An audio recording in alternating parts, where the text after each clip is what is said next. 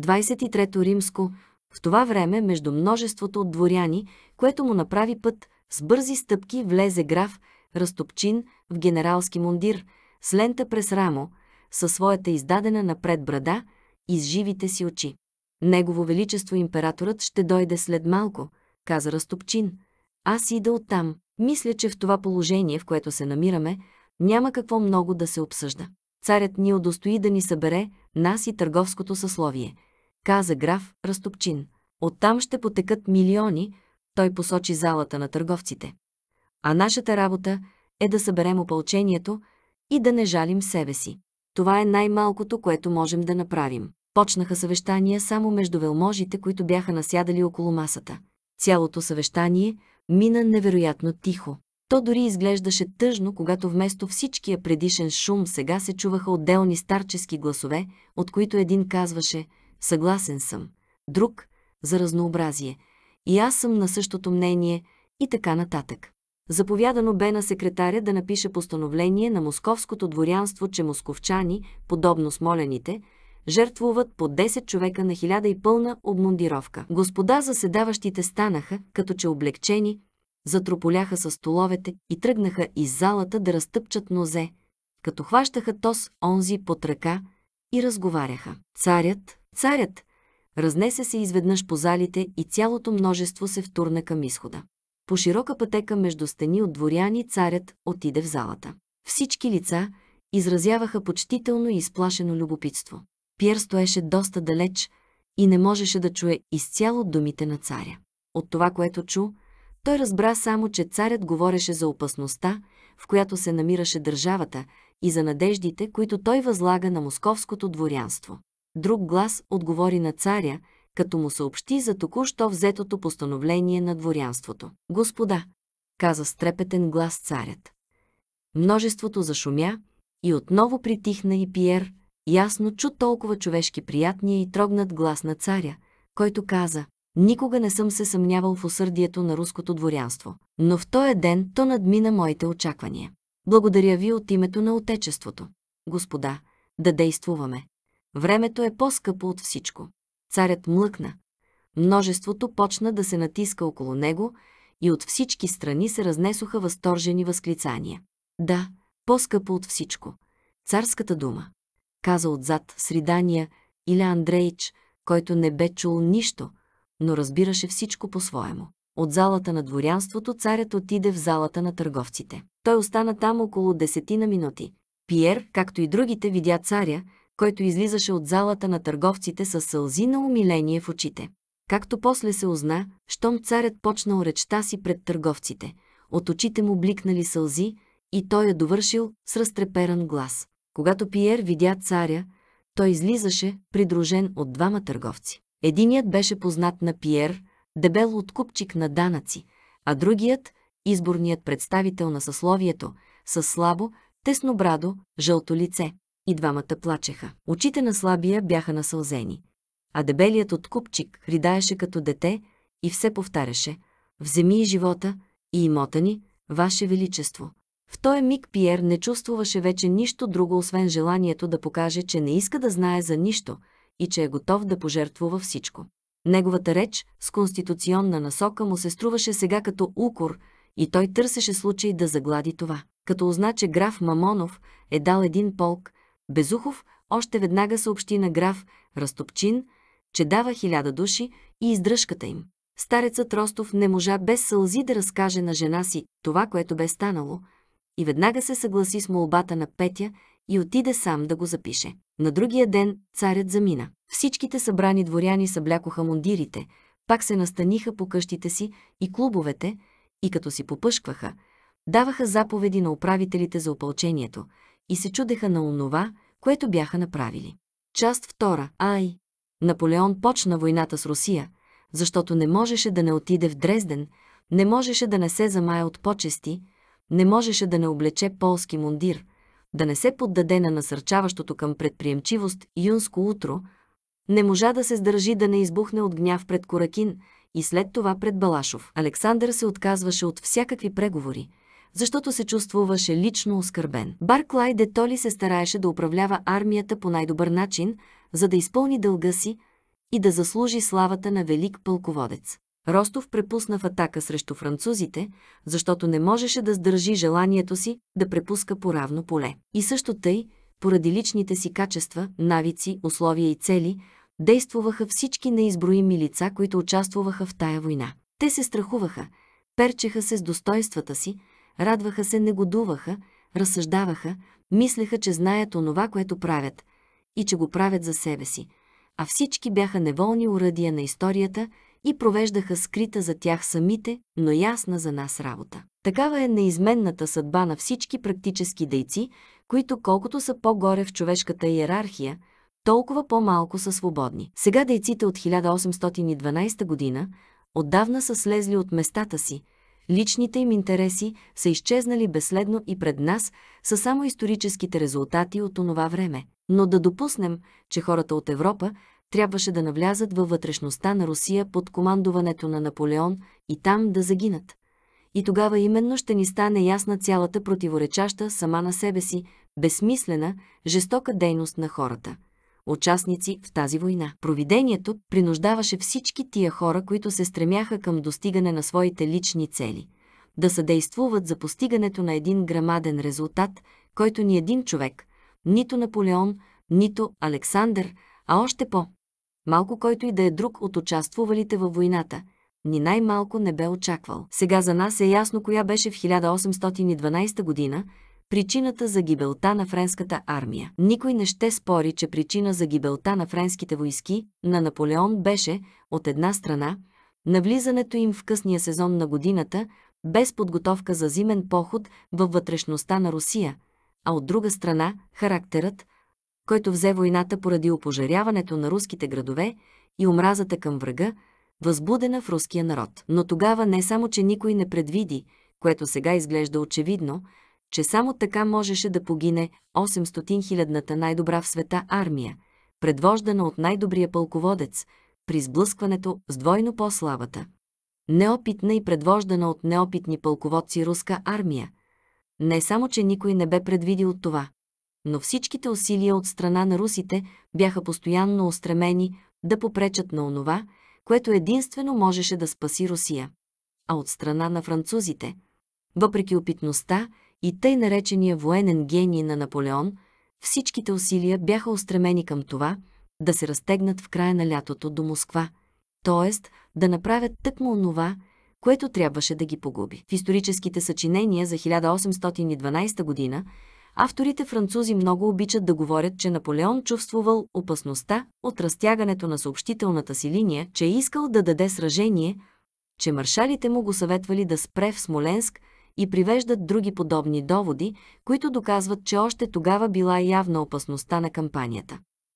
А авторите руси още повече обичат да говорят, че от началото на кампанията имало план за скитска война, да се примами Наполеон във вътрешността на Русия и приписват този план едни на Пфул, други на някакъв французин, трети на Тол, четвърти, дори на император Александър, като сочат бележки, проекти и писма, в които наистина се загатва за този начин на действие. Но всички тия загатвания за предвиждане на онова, което се случи, както от страна на французите, тъй и от страна на русите, се изтъкват сега, само защото събитието ги оправда. Ако събитието не бе станало, тия загатвания щяха да бъдат забравени, както са забравени сега хиляди и милиони противоположни загатвания и предположения, които са били в ход тогава, но излезли неверни и зато и забравени. За изхода на всяко събитие, което се извършва, винаги има толкова предположения, че както и да свърши то, винаги ще се намерят хора, които ще кажат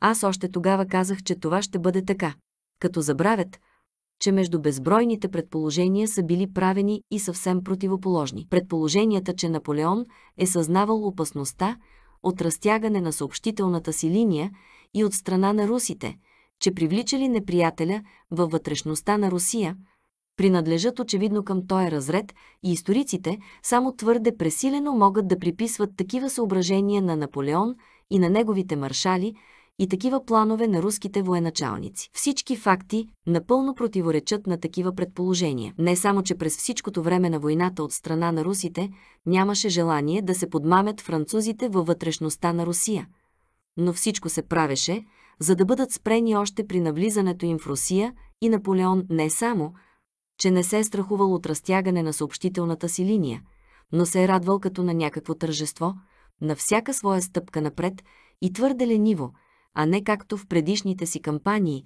е търсил да даде сражение. Още в началото на кампанията нашите армии са откъснати една от друга и единствената цел, към която се стремим ние, е да ги съединим, макар че, за да се отстъпва и привлича неприятелят във вътрешността на страната, не е изгодно армиите да бъдат съединени. Императорът е при армията, за да я въодушевява за защитата на всяка педя руска земя, а не за отстъпление. Създава се грамадният дриски лагер по плана на Пфул и не се предполага да се отстъпва повече. Царят окорява главнокомандуващите за всяка крачка на отстъпление. Царят не може да си представи не само опожаряването на Москва, но дори пускането на неприятеля до Смоленск и когато армиите се съединяват, царят се възмущава, че Смоленск е превзет и опожарен и че не са дали генерално сражение пред стените му. Тъй мисли царят.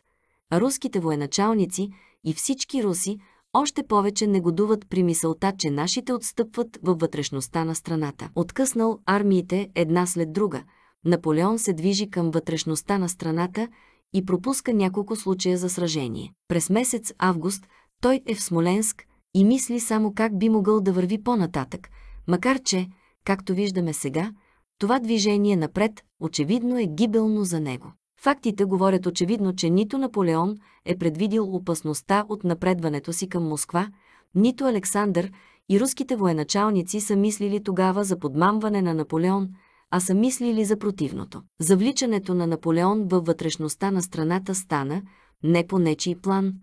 Никой и не е вярвал във възможността за това нещо, а стана поради най-сложната игра на интриги, цели и желания на хората. Участници във войната, недолавящи онова, което щеше да стане, и онова, което бе единственото спасение на Русия. Всичко става неумишлено. Армиите са откъснати в началото на кампанията.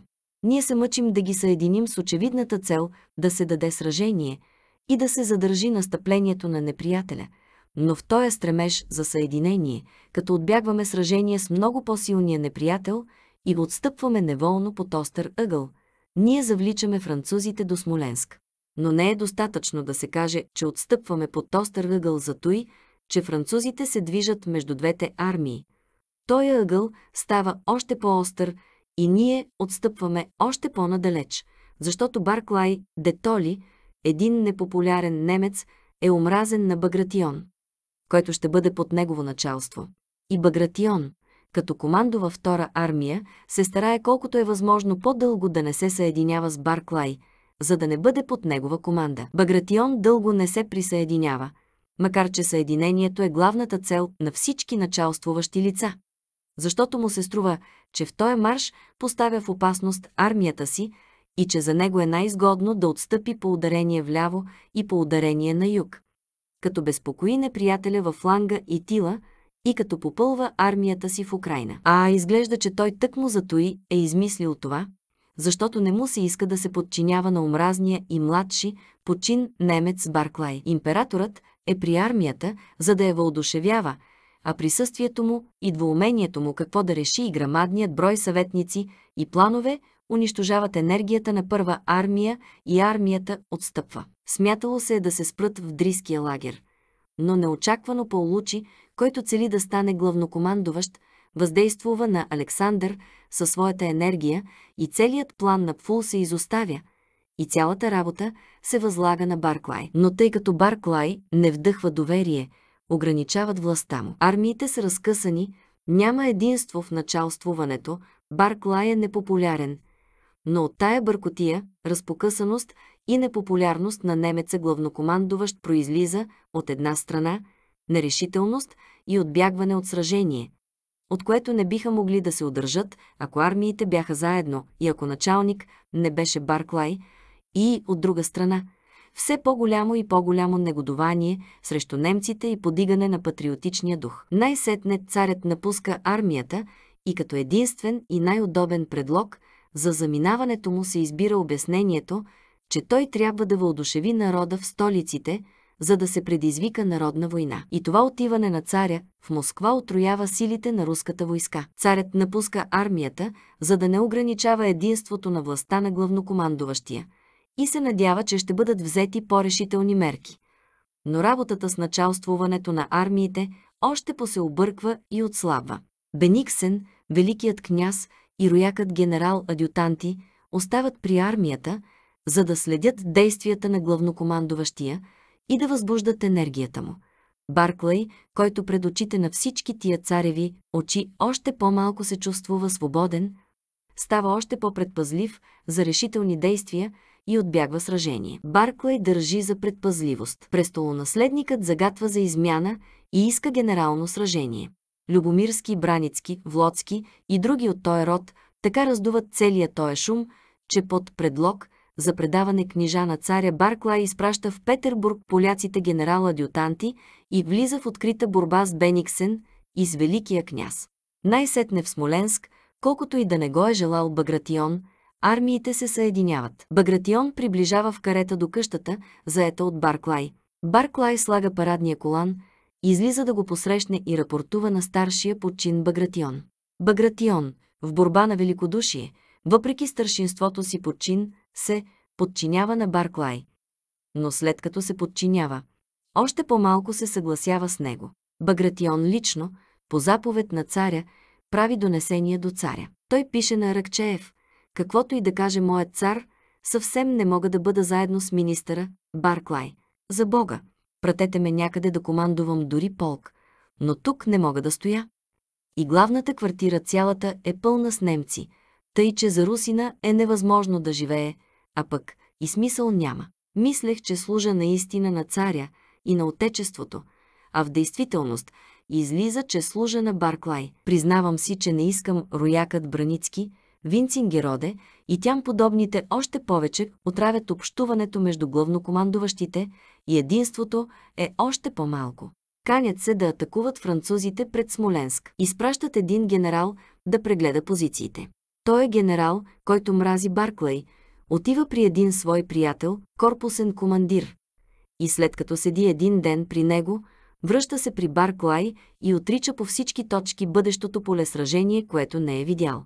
Докато изникват спорове и интриги за бъдещото полесражение, докато ние търсим французите, като се лъжем за местонахождението им, французите се натъкват на дивизията на Неверовски – и се приближават чак до стените на Смоленск. За да се спасят нашите съобщения, трябва да се приеме неочакваното сражение в Смоленск. Сражението става.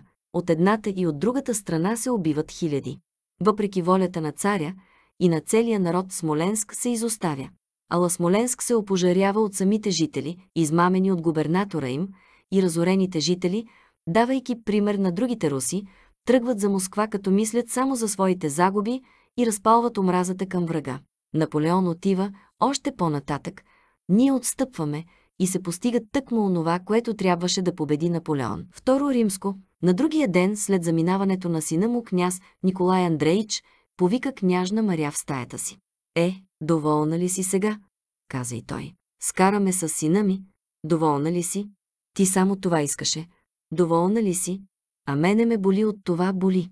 Аз съм стар и слаб а на тебе ти се искаше това. Е, радвай се, радвай се. И след това княжна Маря не видя баща си цяла седмица. Той беше болен и не излизаше от кабинета си. За свое очудване княжна Маря забеляза, че докато боледуваше старият княз, също така не пускаше при себе си и молебоуриене. Само Тихон се грижеше за него. След една седмица князът излезе и отново почна предишния си живот – като особено дейно се занимаваше с постройките и градините и прекрати всичките си предишни отношения с молебоуриене. Видът и студеният му тон към княжна Маря сякаш и казваше. Видя ли, ти измисли за мене разни работи, налъга княз Андрей за отношенията ми с тая французойка и ме скара с него. А виждаш, че не ми трябвате нито ти, нито французойката. Половината ден княжна Маря прекарваше при Николушка – като се занимаваше с уроците му, предаваше му сама руски език и музика и разговаряше с Десал. Останалата част от деня прекарваше с книгите, с старата бавачка и с божите хора, които идеха понякога при нея през задния вход. За войната княжна Маря мислеше тъй, както жените мислят за войната. Тя се страхуваше за брат си, който беше там, ужасяваше се, без да може да я разбере, от жестокостта на хората, която ги караше да се убиват един друг. Но не разбираше значението на тая война, която й се струваше също като всичките до тогавашни войни. Тя не разбираше значението на тая война, макар че Десал, нейн постоянен събеседник, който се интересуваше страстно от хода на войната, се мъчеше да й обясни съображенията си и макар че идещите при нея Божи хора, всеки по-своему, с ужас говореха за слуховете и с народа, че иде антихрист, и макар че Жули, сега княгиня Друбецкая, която отново бе почнала да кореспондира с нея и пишеше от Москва патриотични писма. Пиша ви на руски, моя добра приятелко, пишеше Жули. Защото мразя всички французи, както и езика им, който не мога да слушам да се говори. Ние в Москва се възторгваме с ентусиазъм от нашия обожаван император. Клетият ми мъж търпи насилие и глад в еврейските кръчми. Но новините, които имам, още повече ме въодушевяват. Вие сигурно сте чули за героичния подвиг на Раевски, който прегърнал двамата си синове и казал «Ще загина с тях, но няма да се поколебаем». И действително, макар неприятелят да е бил двойно по-силен от нас, ние не бяхме разколебани. Ние прекарваме времето, както дойде. Но на война е като на война. Княжна Алина и Софии седят с мене по цели дни и ние, нещастни вдовици на живи мъже, правим прекрасни разговори, като приготвяме превръзки. Само вие, приятелко моя, липсвате. И така нататък. Княжна Маря не проумяваше цялото значение на тая война, най-вече за това, защото старият княз никога не приказваше за нея. Не я признаваше и на обяд се смееше на Десал, който говореше за войната. Тонът на княза беше тъй спокоен и сигурен, че княжна Маря му вярваше, без да разсъждава. Целият месец юли князът беше необикновено деен и дори оживен. Той започна да прави още една нова градина и нова сграда, помещение за прислугата. Едно нещо безпокоеше княжна Маря. Това, че той малко спеше, и тъй като бе променил навика си да спи в кабинета, всеки ден променяше мястото си за нощуване. Ту заповядваше да нагласят походния му креват в галерията, ту оставаше на дивана или на волтеровското кресло в салона и дремеше, без да се съблича, като през това време не моле Боуриенне, а малкият прислужник Петруша му четеше. Ту нощуваше в трапезарията. На 1 август се получи второ писмо от княз Андрей. В първото писмо, получено наскоро след заминаването му, княз Андрей с покорност молеше баща си да му прости за онова, което си бе позволил да му каже и го молеше да му възвърне отново своето благоволение. Старият княз отговори с ласкаво писмо и след писмото отстрани от себе си французойката. Второто писмо на княз Андрей, писано край Витебск, след завземането му от французите, беше кратко описание на цялата кампания с план, нарисуван в писмото и разсъждения за по-нататъчния ход на кампанията. В това писмо княз Андрей излагаше неудобството за баща му да бъде близо до театъра на войната, точно на линията, по която се движат войските, и го съветваше да замине за Москва. На обяда през този ден, когато Десал каза, че както се разправя, французите вече са влезли във Витебск, Старият княз се сети за писмото от княз Андрей. Получих днеска писмо от княз Андрей, каза той на княжна Маря. Не го ли чете? Не, Моун Пере, отговори подплашено княжната. Тя не можеше да прочете писмото, за което дори не бе чула. Татко, пише за войната, за тая война, каза князът Суная, станала вече обикновена за него презрителна усмивка, с която винаги приказваше за сегашната война. Навярно е много интересно, каза Десал. Князът има възможност да знае. Ах, много интересно, каза му Лебоуриенне. Идете да ми го донесете. Обърна се старият, княз към Молебоуриенне. Нали знаете, на малката маса под прес папието. Моле Боуриенне радостно скочи. Ах, не, намръщи се и извика той. Иди ти, Михаил Иванич. Михаил Иванич стана и тръгна за кабинета но веднага след излизането му старият княз се озърна неспокойно, хвърли салфетката си и тръгна сам той. За нищо ги не бива, всичко ще объркат. Докато отиваше княжна Маря, Десал, Молебо Ориенне и дори Николушка се споглеждаха мълком.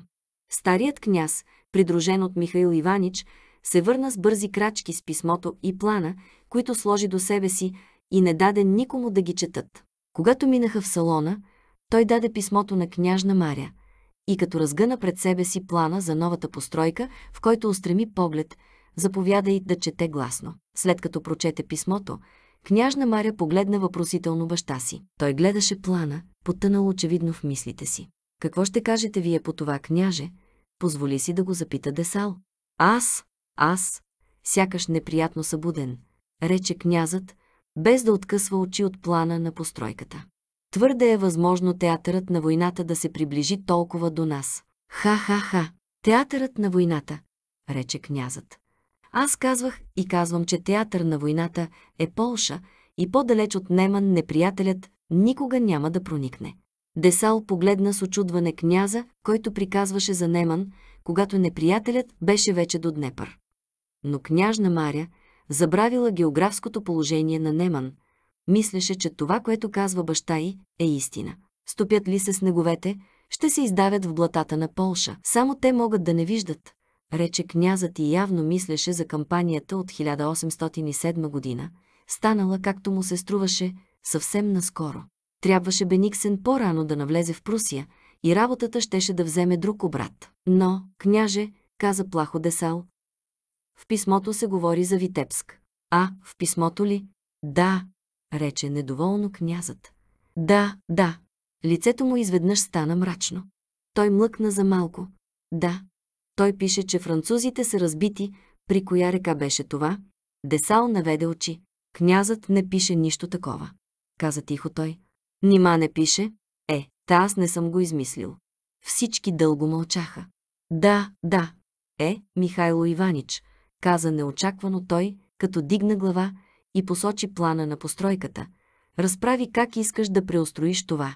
Михаил Иванич се приближи до плана и след като поговори с него за плана на новата постройка, князът погледна ядосано княжна Маря и Десал и отиде в стаите си. Княжна Маря видя смутение и очуден поглед на Десал, устремен към баща й, забеляза мълчанието му и беше смаяна, че баща й бе забравил писмото от сина си на масата в салона.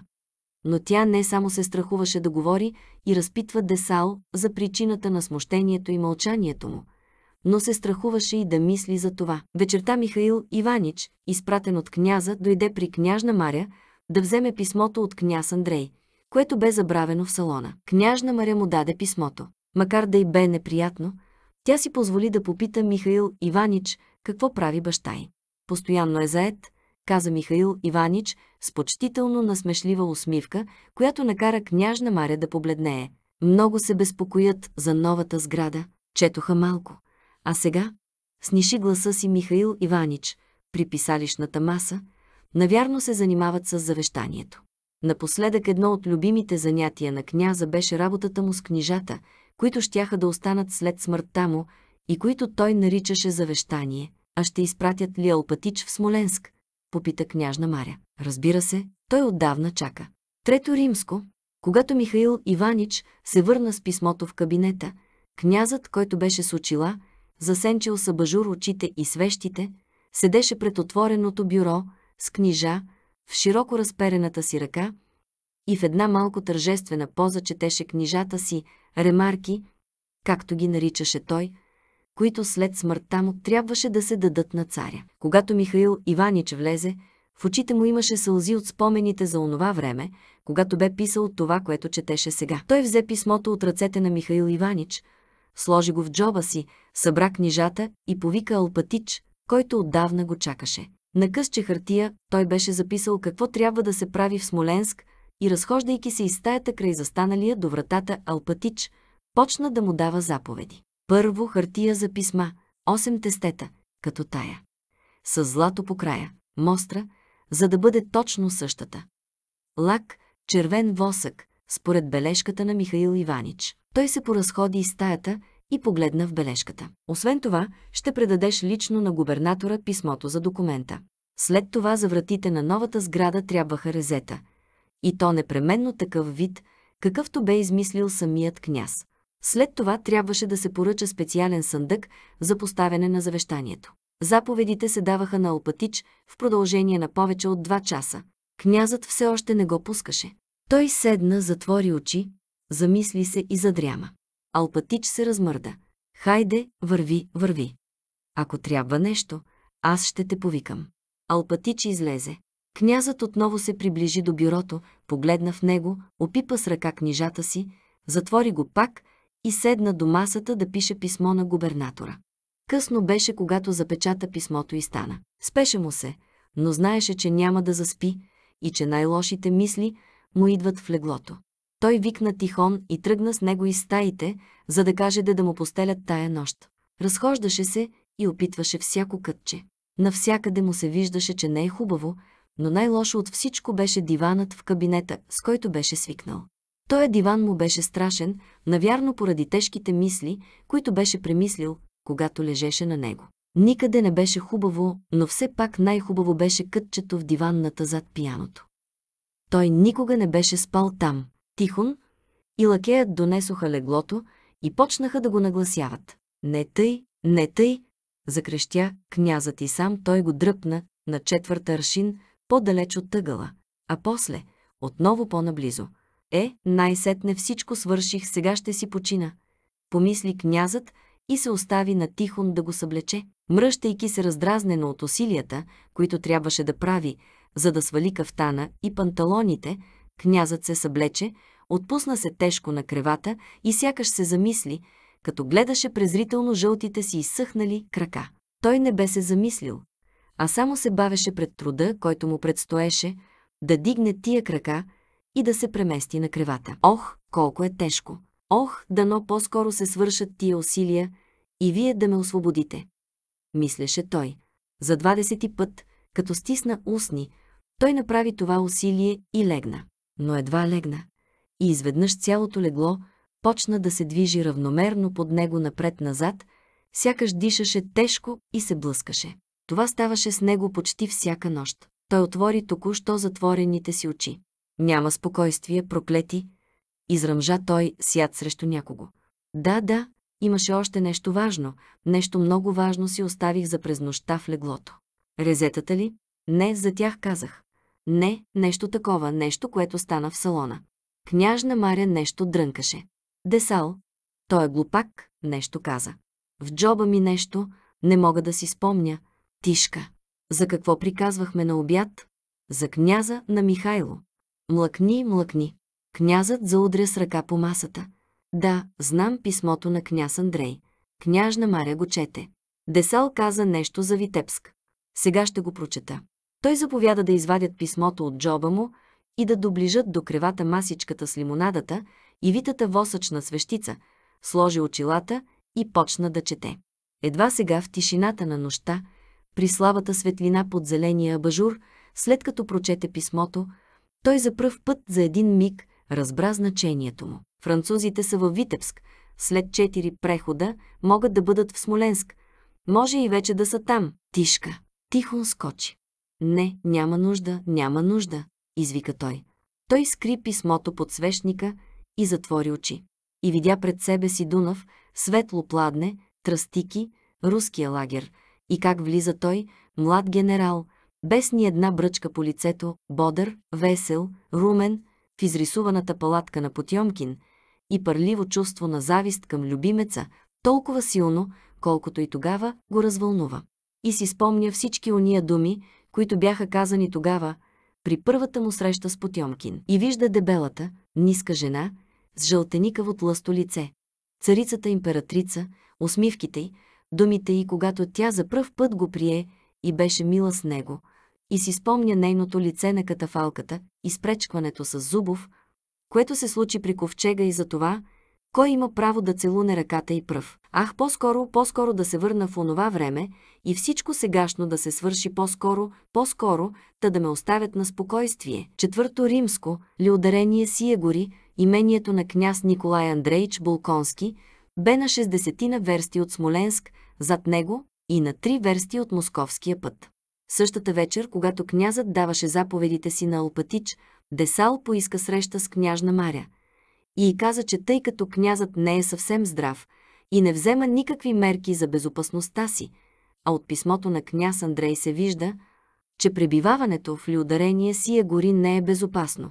Почтително я съветва тя самата да напише и изпрати по Алпатич писмо до губернатора в Смоленск с молба да й съобщи какво е положението и доколко голяма е опасността, на която се излагат ли ударение сия гори. Десал написа от името на княжна Маря писмо до губернатора, което тя подписа и писмото бе дадено на Алпатич с заповед да го връчи на губернатора и в случай на опасност да се върне колкото може по-скоро. След като получи всички заповеди, Алпатич, изпращан от домашните си, с бяла пухкава шапка, подарък от княза, стояшка, също като на княза, излезе да се качи в бричката с кожен гюрук, запрегната стройка охранени дорести коне. Звънецът беше завързан, а в малките звънчета напъхани хартийки. Князът не позволяваше никому в лиударение сия гори да кара с звънчета. Но на дълъг път Алпатич обичаше звънчетата. Придворните хора на Алпатич, писарят, счетоводителят, готвачките, за господарите и за прислугата, две баби, момчето-прислужник, кочияшите и разни слуги го изпровождаха.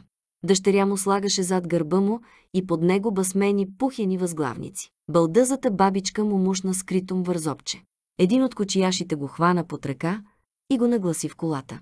Хайде, хайде, женски работи. Жени, жени, рече бързо-бързо, като пахтеше, алпатич, също както князът, и седна в бричката. Като даде на писаря последни нареждания по работите и сега вече, без да подражава на княза, Алпатич свали шапката от плешивата си глава и три пъти се прекръсти. Ако нещо стане, вие, върнете се, Яков Алпатич. Помисли за нас, за Бога, извика жена му, като загатваше за слуховете за войната и неприятеля. Жени, жени, женски работи. Измърмори си Алпатич и потегли, като оглеждаше наоколо си нивята. Някъде с пожълтяла ръж, другаде с гъст, още зелено вес, а някъде още черни, в които едва бе започнала втора оран. Алпатич пътуваше, радвайки се на рядката през тая година, реколта на пролетните посеви, заглеждаше се в ивичките ръжени нивя, из които тук-там почваха да жънат, съобразяваше разни неща за стопанството. За сеидбата и прибирането на реколтата – и дали не е забравил някое нареждане на княза. След като два пъти храни конете, вечерта на 4 август Алпатич пристигна в града. По пътя Алпатич срещаше и изпреварваше обози и войски. Когато наближаваше Смоленск, той чу далечни гърмежи. Но тия звуци не го поразиха. Най-силно го порази, когато, приближавайки до Смоленск, видя една чудесна овесена нива, която някакви войници косяха очевидно за храна на конете – и сред която бяха настанени на лагер. Това обстоятелство порази Алпатич, но той скоро го забрави, мислейки за своята работа. Повече от 30 години всички интереси в живота на Алпатич бяха определени само от волята на княза и той никога не излизаше от този кръг. Всичко, което не се отнасяше до изпълнението на княжеските заповеди, не само не го интересуваше, но и не съществуваше за Алпатич. Като пристигна вечерта на 4 август в Смоленск, Алпатич отседна отвъд Днепър в Гаченското предградие, в една странно приемница, при съдържателя Терапонтов, у когото от 30 години вече бе свикнал да отсяда. Преди 12 години, благодарение на Алпатич, Терапонтов купи една горичка от княза, почна да търгува и сега имаше къща, странно приемница и брашнарски дюкян в града. Терапонтов беше дебел, черен, червен 40 годишен селяк с дебели бърни, с дебела топка нос, със също такива топки над черните смръщени вежди и с дебел корем. Терапонтов, по жилетка и басмена рубашка, бе застанал до Дюкяна, който гледаше към улицата. Като видя Алпатич, той приближи до него. Добре дошъл, Яков Алпатич. Хората бягат от града, а ти идеш в града, рече стопанинът. Как тъй бягат от града? каза Алпатич. И аз казвам, че са глупави. Все от французина ги е страх. Женски приказки, женски приказки, рече Алпатич. Тъй мисля и аз, Яков Алпатич. Аз думам, има заповед, че няма да го пуснат, значи вярно е. А пък и селените искат по три рубли на каруца. Бога нямат. Яков Алпатич слушаше невнимателно. Той поиска самовар и сено за конете, пи чай и легна да спи. През цялата нощ по улицата край странно приемницата вървяха войски. На другия ден Алпатич облече дрехата, която обличаше само в града, и тръгна по работата си. Утрото бе слънчево и от 8 часа беше вече горещо. Ден злато за прибиране на житото, както си мислеше Алпатич. Отвъд града, още от рано сутринта се чуваха гърмежи. От 8 часа към пушечните изстрели се прибави топовна стрелба. По улиците имаше много хора, които бързаха на някъде, много войници. Но както винаги вървяха файтони, търговците стояха пред дюкяните си и в църквите имаше служба. Алпатич ходи по дюкяните, в учрежденията, на пощата и при губернатора. В учрежденията, в дюкяните, на пощата всички приказваха за войската, за неприятеля, който нападнал вече града. Всички се питаха един друг какво да правят и всички се мъчеха да се успокояват един друг. Пред дома на губернатора Алпатич намери многоброен народ, казаци и една пътническа кола, която принадлежеше на губернатора. На входната площадка Яков Алпатич срещна двамина господа дворяни, единия от които познаваше. Познатият му дворянин, бивш околийски началник, говореше с жар, че това не е да си правиш шеги, казваше той. Който е сам, му е добре. Сам човек, каквото и да е, е сам. А да имаш семейство от 13 души, че и цялото имущество. Докараха я до там, че всички да загинат. Какво началство е то след всичкото й? Ех, избесил бих аз разбойниците. Е, стига, рече другият. Че какво ме интересува, нека слуша. Та ние не сме кучета, каза бившият околийски началник и като погледна наоколо си, видя Алпатич. А, Яков Алпатич, ти защо си дошъл? По заповед на негово сиятелство, при господин губернатора. Отговори Алпатич, като дигна гордо глава и пъхна ръка в пазвата си, което правеше винаги, когато споменаваше княза. Благоволи да заповяда да се осведомя как е положението, рече той. Е, на, осведоми се, изкрещя помещикът. Докараха я до там, че нито каруци, нито нищо. Ей, на, чуваш ли? рече той, сочейки нататък, отдето се чуваха гърмежите. Докараха я до там, че всички ще загинем. Разбойници, каза пак той и слезе от площадката. Алпатич поклати глава и тръгна по стълбите. В приемната имаше търговци, жени, чиновници, които се споглеждаха мълчаливо. Вратата на кабинета се отвори. Всички станаха от местата си и мръднаха напред. От вратата изскочи чиновник, поговори нещо с един търговец, извика на един дебел чиновник с кръст на шията да отиде с него и отново изчезна зад вратата, като очевидно избягваше всички погледи и въпроси към него.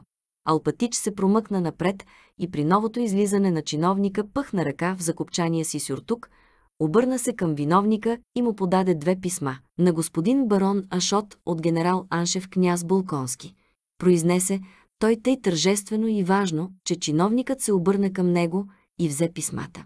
След няколко минути губернаторът прие Алпатич и му каза набързо. Доложи на княза и на княжната, че нищо не ми е било известно. Аз постъпвах според висшите заповеди. Ето, той даде някакъв документ на Алпатич. Но тъй като князът е болен, моят съвет е да заминат за Москва. И аз заминавам след малко. Доложи. Но губернаторът не довърши. През вратата се втурна прашен и потен офицер и заговори нещо на френски. По лицето на губернатора се изписа ужас. Върви, каза той, като кимна на Алпатич и почна да разпитва нещо офицера. Когато излезе от кабинета на губернатора, жадни, подплашени и безпомощни погледи се насочиха към Алпатич. Сега заслушан, без дъще в близките и все по-засилващи се гърмежи, Алпатич забърза към странно приемницата. Документът, който му бе дал губернаторът, бе следният. Уверявам ви, че за град Смоленск не предстои още ни най-малка опасност и е невероятно, че може да бъде заплашван от такава. Аз, от една страна, и княз Багратион, от друга, се движим, за да се съединим до Смоленск, което ще стане на 22 число.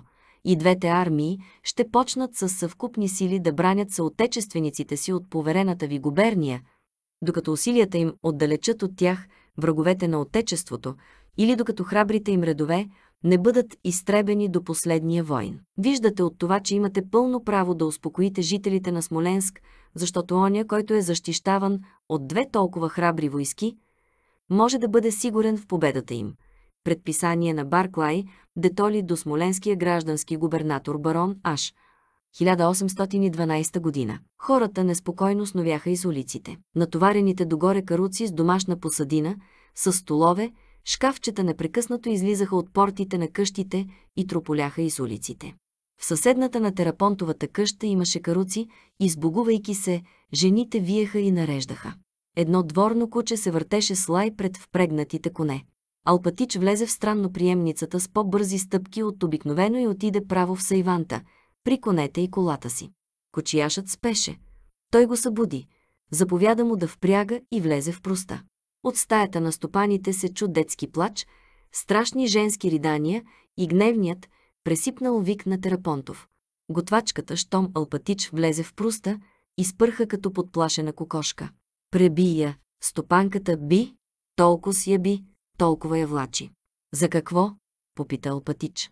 Молеше го да заминат. Женска работа. Откарай ме дума с кола, не ме погубвай с тия малки деца. Хората, дума всички заминаха, а пък ние, дума, какво? Че като почна да я бие, толкова я би, толкова я влачи. Алпатич кимна сякаш одобрително на тия думи и, не желайки да знае нищо друго, отиде до стаята срещу вратата на господарската стая, дето си оставяше покупките. Разбойник Сити убиец, извика в това време една слаба, бледа жена с дете на ръце и със смъкната от главата и забратка, като се изкубна през вратата и изтича по стълбата в двора. Терапонтов излезе след нея и като видя Алпатич, оправи жилетката и косата си, прозя се и влезе след Алпатич в стаята. Искаш да си заминеш ли? попита той. Без да отговаря на въпроса, без да погледне стопанина, и като преглеждаше покупките си, Алпатич попита колко трябва да му плати за престоя. Ще направим сметка. Е, беше ли при губернатора? Попита Терапонтов. Какво решение излезе? Алпатич отговори, че губернаторът не му е казал нищо положително. Мигър можем да се пренесем, рече Терапонтов. Давай до Дорогобуш по 7 рубли на каруца. И пак казвам. Бога нямат, рече той. Селиванов, виж, той сполучи. В четвъртък продаде брашно на армията по 9 рубли чувалът. Е, ще пиете ли чай? Добави той. Докато впрягаха конете, Алпатич и Тарапонтов пиха чай и разговаряха за цената на житото, за реколтата и благоприятното време за прибирането й. Майче почна да затихва, каза Терапонтов, след като изпи три чая, и стана. Навярно нашите са надвили. Казано е да не го пускат. Значи сила. Разправяха, че тия дни Матвей Иванич Платов ги натикал в река Марина и майче в един ден издавил към 18 хиляди. Алпатич събра покупките си, даде ги на влезлия кочияш и плати на стопанина. През портите се чу шум от колела, копита и звънчета на излизащата бричка. Пладне отдавна беше минала. Половината улица беше в сянка, другата половина – ярко осветена от слънцето. Алпатич погледна през прозореца и тръгна към вратата. Изведнъж се чу странен звук на далечно свистене и удар, и след това се пронесе слято обучене на топовна стрелба, от която стъклата затрепериха. Алпатич излезе на улицата. Двама души изтичаха по улицата към моста. От разни страни се чуваше свистене, удари от гиолета и пръскане на гранати, които падаха в града. Но тия звукове почти не се чуваха и не привличаха вниманието на жителите в сравнение с стрелбата, която се чуваше отвъд града. Това беше бомбардировката срещу града, която в 5 часа Наполеон бе заповядал да започне с 130 уръдия. Отначало хората не разбираха какво значи тая бомбардировка. Звуковете от падащите гранати и гиолета възбуждаха изпърво само любопитството. Терапонтовата жена, която до тогава не преставаше да вие под Сайванта, млъкна и излезе на портата с детето на ръце, като се вглеждаше мълчаливо в хората и се вслушваше в звуковете. Излязоха на портата готвачката и продавачът. Всички с весело любопитство се опитваха да видят прелитащите над главите им снаряди. Иззад тъгъла излязоха няколко души, които разговаряха оживено. Това се вика сила, каза един. И покрива, и тавана направи на парчета. Разрови като свиня и земята, рече друг. Виж как сериозно удря, виж как ни са живи. Каза със смях той. Добре, че отскочи, иначе щеше да те смаже. Народът се обърна към тия хора. Те се спряха и разправиха как досам тях едно гиоле улучило къща. През това време други снаряди, то с бързо, мрачно свистене, гиолета, то с приятно подсвирване, гранати, не преставаха да летят над главите на хората. Но ни един снаряд не падаше наблизо, всички прехвърляха. Алпатич сядаше в бричката. Стопанинът стоеше до портите. Като да не си виждала. Викна той на готвачката, която запретнала ръкави, с червена в уста и заклатила голи лакти, отиде до ъгъла да чуе какво разправяха. Гледай ти чудо, повтаряше тя, но като чу гласа на господаря си, върна се, издърпвайки запретнатата си пола. Отново, но той път наблизо и свири нещо като хвърчащо отгоре надолу птиче, блесна посред улицата огън, нещо гръмна и засла улицата с пушек. Разбойнико, какво вършиш? Викна стопанинът, като изтича към готвачката. В същия миг от разни страни започнаха да вият жаловито жени, оплашено заплака дете и с побледнели лица хората се струпаха около готвачката.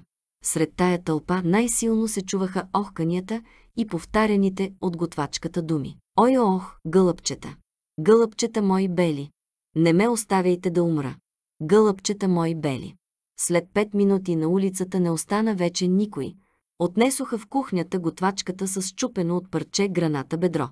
Алпатич, кочияшът му, терапонтовата жена с децата и дворникът седяха в зимника и се ослушваха.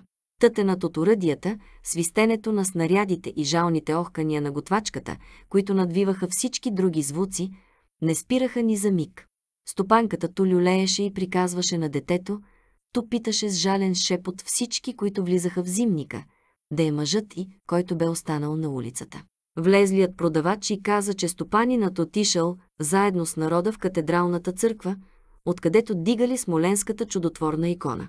При вечер канонадата почна да затихва. Алпатич излезе от зимника и спря на вратата.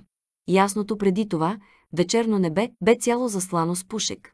И през този пушек странно светеше новият, високо издигнат сърп на месеца.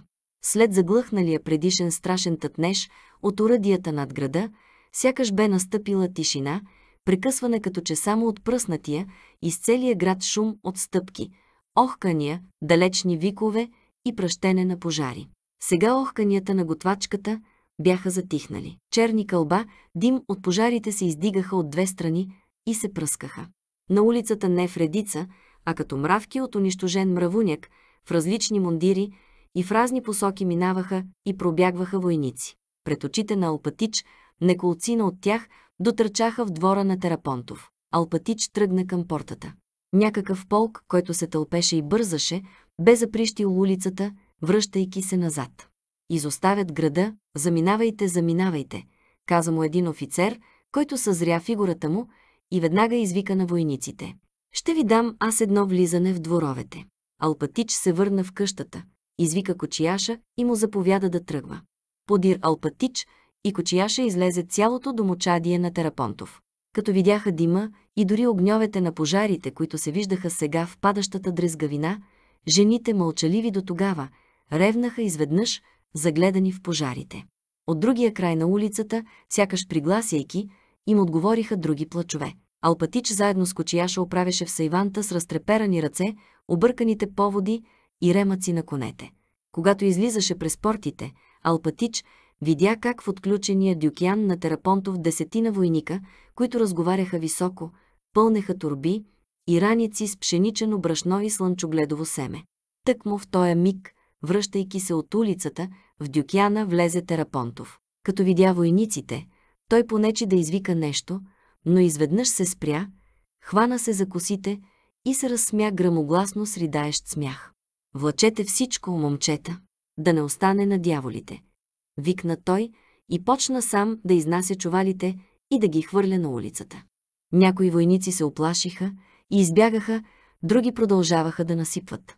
Като видя Алпатич, Терапонтов се обърна към него. Свърши се. Русия, извика той.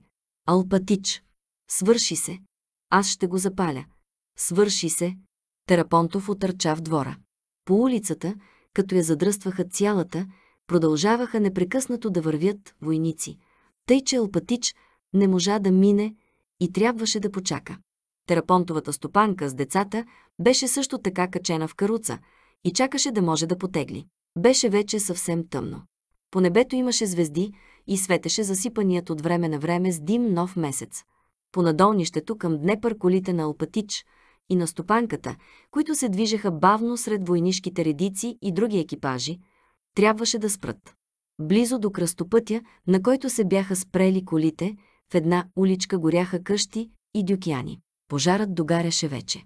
Пламъкът то замираше и се губеше в черния дим, то изведнъж избухваше ярко и осветяваше невероятно ясно лицата на струпалите се хора, застанали на кръстопътя. Пред пожара се мяркаха черни фигури на хора и през нестихващото пръщене на огъня се чуваха глъчка и викове. Алпатич, който бе слязал от бричката и видя, че скоро няма да пуснат колата му, се върна на уличката, за да погледа пожара. Войниците непрекъснато щъкаха напред-назад, край пожара и Алпатич видя как двама войника, и с тях някакъв човек в дебел шинел мъкнеха през улицата в съседния двор горящи гради от пожара, а други носеха наръчи сено. Алпатич се приближи до голямата тълпа хора, застанали срещу буйно пламналия висок хамбар. Всичките стени бяха обхванати от огъня, задната се бе срутила. Дъщеният покрив се събаряше и гредите плъмтяха. Очевидно тълпата очакваше мига, когато целият покрив ще се строполи. Това чакаше и Алпатич. Алпатич, извика на стареца нечий познат глас. Господарю, ваше сиятелство, отговори Алпатич, познал веднага гласа на младия си княз. Княз Андрей с наметка, яхнал вран кон, бе застанал зад тълпата и гледаше Алпатич. Защо си тук? попита той. Ваше, ваше сиятелство, продума Алпатич и зарида. Ваше, ваше. Мигър вече загинахме. Баща, защо си тук? повтори княз Андрей.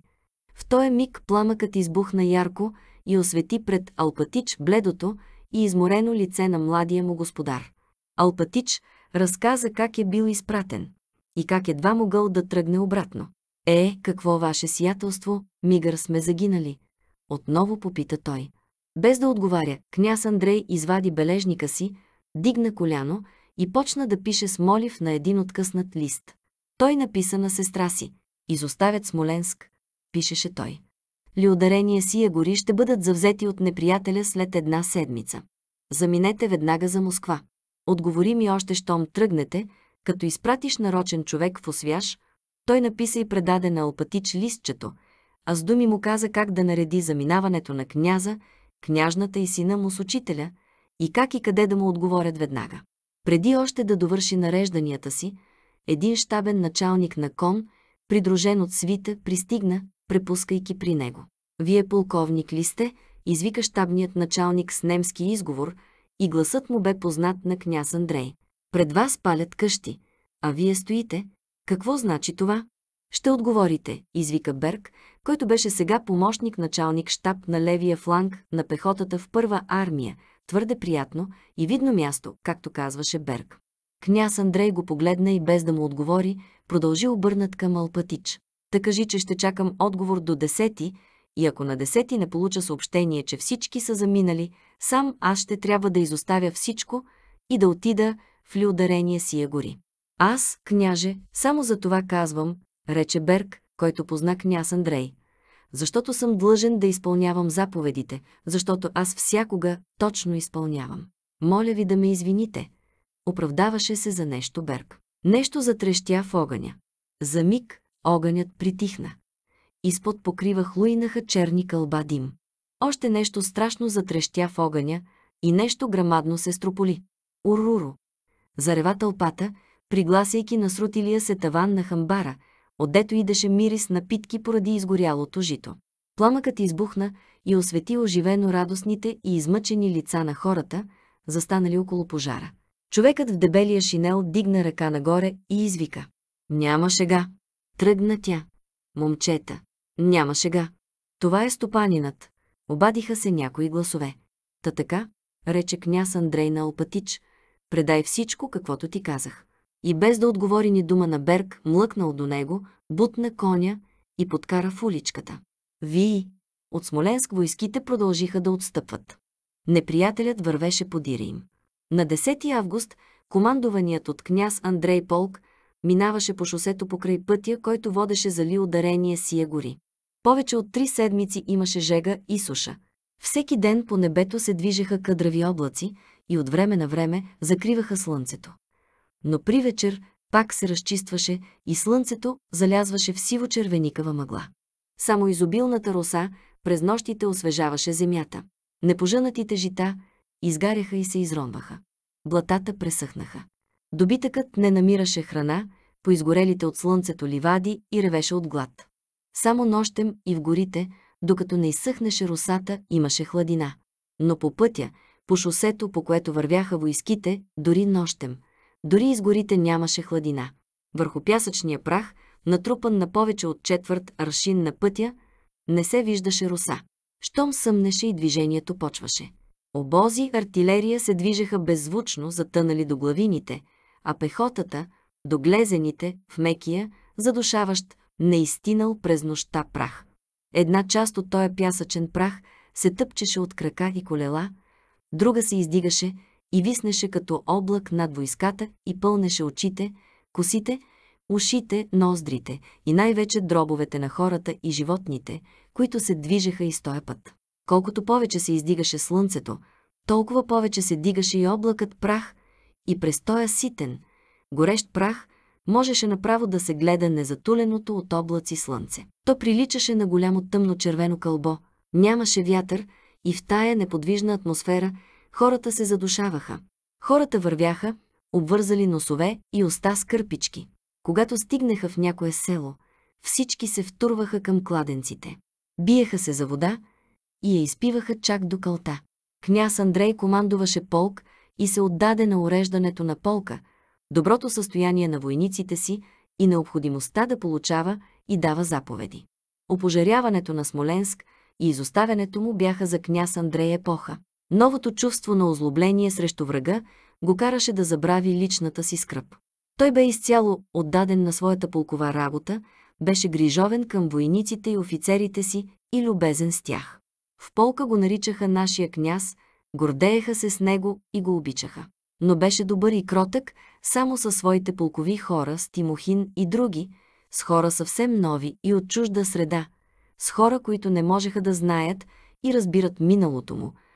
Но щом се срещнеше с някого от предишните си познати, от щабните, той веднага се наежваше. Ставаше злобен, насмешлив и презрителен. Всичко, което имаше връзка с спомена му за миналото, го отблъскваше и за той в отношенията си с този предишен свят, той се мъчеше да не бъде поне несправедлив и да изпълнява дълга си. Наистина княз Андрей виждаше всичко в тъмна, мрачна светлина, особено след като напуснаха Смоленск, който според него можеше и трябваше да бъде защищаван. На 6 август и след като баща му, болен, трябваше да бяга в Москва и да остави на разграбване толкова обичаното, застроено и населено от него ли ударение сия гори. Но въпреки това, благодарение на полка, княз Андрей можеше да мисли за други неща, за нещо съвсем независимо от общите въпроси, за своя полк. На 10 август колоната, в която беше неговият полк, стигна на според сли ударение сия гори. Два дни преди това, княз Андрей бе получил съобщение, че баща му, синът и сестра му са заминали за Москва. Макар, че нямаше какво да прави в лиударение сия гори, княз Андрей, с присъщото му желание да разврежда скръпта си, реши, че трябва да се отбие в лиударение сия гори. Той заповяда да оседлаят коня му и при прехода отиде в бащиното си имение, дето се бе родил и прекарал детинството си. Минавайки край езерото, дето всякога имаше десетки селенки, които си приказваха, като удряха с бухалки и изплакваха прането си, княз Андрей забеляза, че при езерото нямаше никого и откъснатият малък сал, залят наполовина от водата, плуваше накриво посред езерото. Княз Андрей се приближи до будката на пазача. До каменните порти нямаше никого и вратата беше отворена. Пътечките в градината бяха вече тревясали и телета, и коне се разхождаха и с английския парк. Княз Андрей се приближи до оранжерията. Стъклата бяха изпочупени, а дръвчетата в качета. Някои са борени, други изсъхнали. Той извика по име Тарас, градинаря. Никой не се обади, като избиколи оранжерията от към площадката пред нея. Той видя, че дървеният стобор с резба беше целият изпочупен. Сливите обрани и клоните изпокършени. Старият селянин, княз Андрей го виждаше при портите още от детинството си, седеше на зелената пейка и плетеше цървули от лико. Той беше глух и не бе чул пристигането на княз Андрей. Седеше на пейката, на която обичаше да седи старият княз. И наоколо му поклоните на окършена и изсъхнала магнолия бе провесено лико. Княз Андрей се приближи до къщата. В старата градина бяха отсечени няколко липи. Една пъстра кобила с конче се разхождаше между розите току до къщата. Къщата беше с заковани капаци. Долу един прозорец беше отворен. Едно момченце видя княз Андрей и отърча в къщата. Алпатич, изпратил семейството си, бе останал сам в люодарение сия гори. Той си седеше в къщи и четеше житията. Що му значи е пристигнал княз Андрей, той с очила на носа и като се закопчаваше, излезе от къщи, бързо се приближи до княза и без да каже нещо, заплака целувайки княз Андрей по коляното. След това се извърна, ядосан от слабостта си, и почна да му докладва за положението. Всичко ценно и скъпо беше пренесено в Богочарово. Житото към 100 четвъртини също било пренесено. Сеното и летницата, извънредно изобилната, както казваше Алпатич, таз годишна реколта, били окосени още зелени от войската. Селените са разсипани, някои също заминали за Богочарово, малък брой останали.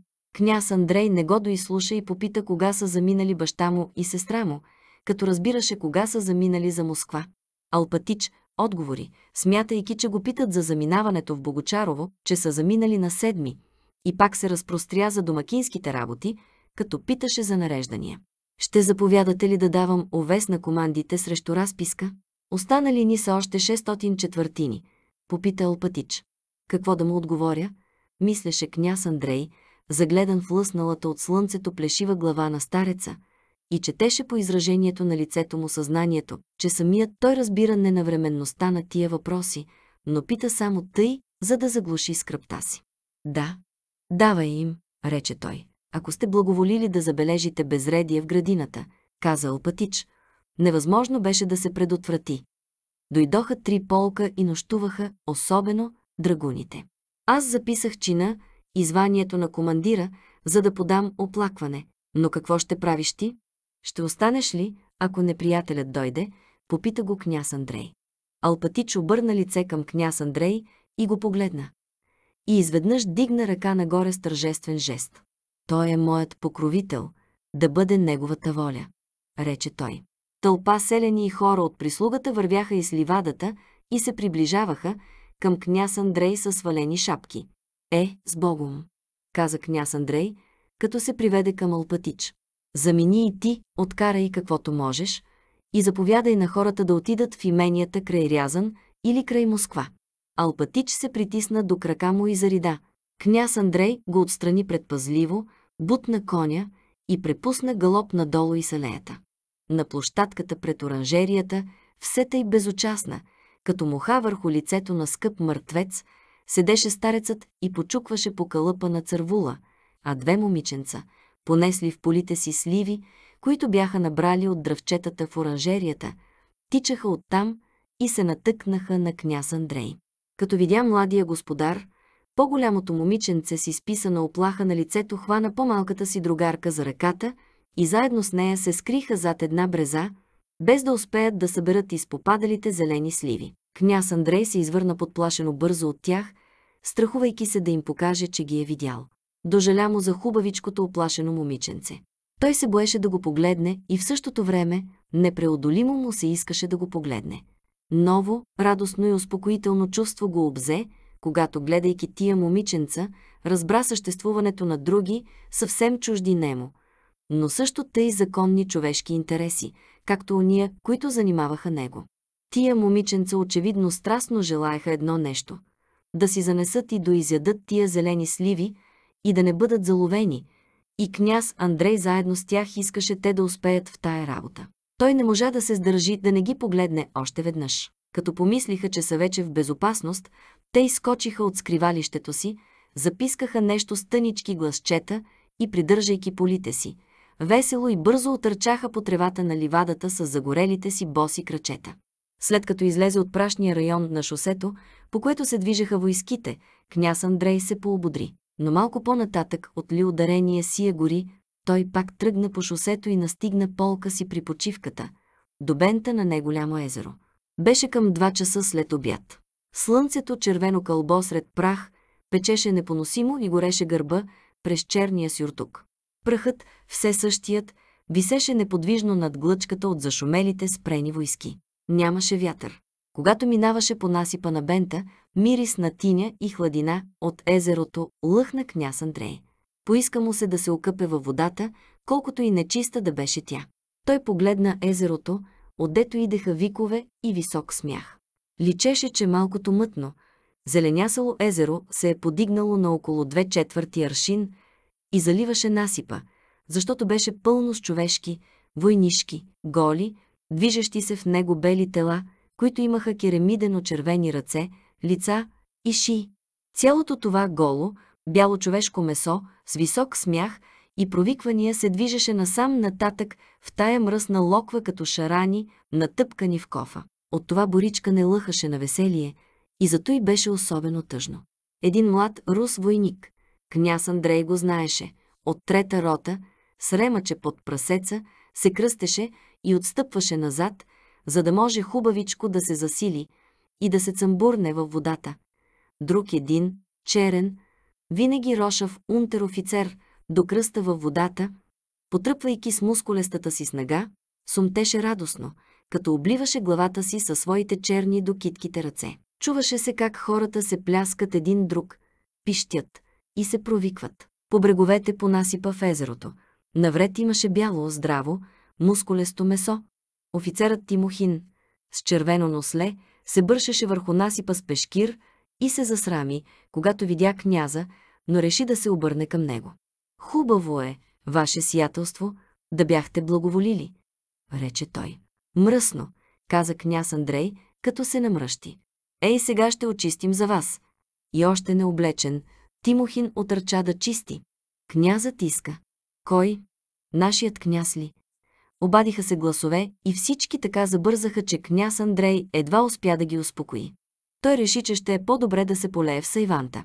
Месо, тяло, чер ейканан. Мислеше той, гледайки голото си тяло, и потръпваше не толкова от хлад, колкото от едно непроумявано за самия него отвращение и ужас от гледката на този грамаден брой тела, които се плискаха в калното езеро. Пушечно месо, на 7 август, княз Багратион от Михайловка, на Смоленския път, дето беше спрял, писа следното.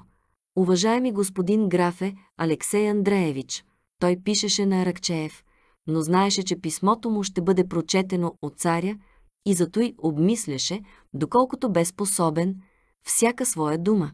Мисля, че министърът вече ви е рапортувал за изоставянето на Смоленск. Боли мъчно е и цялата армия е в отчаяние, че напразно изоставихме най-важното място. От своя страна, аз лично го молих по най-убедителен начин и най-сетне му писах, но нищо не помогна. Кълна ви се в честа си, че Наполеон беше в такъв чувал, както никога и можеше да загуби половината си армия и да не превземе Смоленск. Нашите войски се биха и бият както никога. С 15 хиляди аз се държах повече от 35 часа и ги бих. Но той не искаше да остане и 14 часа. Това е срамота и е петно на нашата армия. А той самият, струва ми се, не би трябвало и да живее. Ако ви донася, че загубите са големи, не е истина, може би около 4000, не повече, но и толкова няма. Ала и 10 да са, това е война. Зато и пък неприятелят загуби безброй. Какво щеше да струва да останем още два дни? Най-малкото те сами щяха да си отидат, тъй като нямаха вода за хората и за конете. Той ми даде дума, че няма да отстъпи, но изведнъж изпрати диспозиция, че през нощта се оттегля. Така не може да се воюва и ние можем скоро да доведем неприятеля в Москва. Носи се слух, че вие мислите за мир. Боже, опази да сключим мир. След всички жертви и след такива налудничави отстъпления да се сключи мир, значи да опълчите цяла Русия срещу себе си и всеки от нас ще се срамува да носи мундир. Щом така е тръгнало, трябва да се бием, докато Русия може и докато хората са на крак. Трябва да командува един, а не двама. Вашият министър може да е добър за министерството. Ала като генерал. Не лош, но е негоден, а не му е поверена съдбата на цялото наше отечество. Аз наистина полудявам от раздразнение. Извинете ме, че пиша тъй дръско. Очевидно е, че който съветва да се сключи мир и армията да се командува от министъра, не обича царя и желая гибелта на всинца ни. И за той ви пише истината. Гответе опълчението. Защото министърът по най-майсторски начин води след себе си гостенин в столицата. Голямо подозрение възбужда в цялата армия господин флигел-адютантът Волцуген. Казват, че той бил повече човек на Наполеон, отколкото наш, и той съветва министъра за всичко. Аз не само съм учтив с него, но му се подчинявам, като капрал, макар да съм по-стар от него. Това ме боли. Но тъй като обичам моя благодетел и господар, подчинявам се. Жално е само за царя, че поверява на такива хора славната армия. Представете си, че чрез нашето отстъпление загубихме от умора и в болниците повече от 15 000 души. А ако настъпвахме, това нямаше да го има. Кажете за Бога какво ще каже Русия, нашата майка.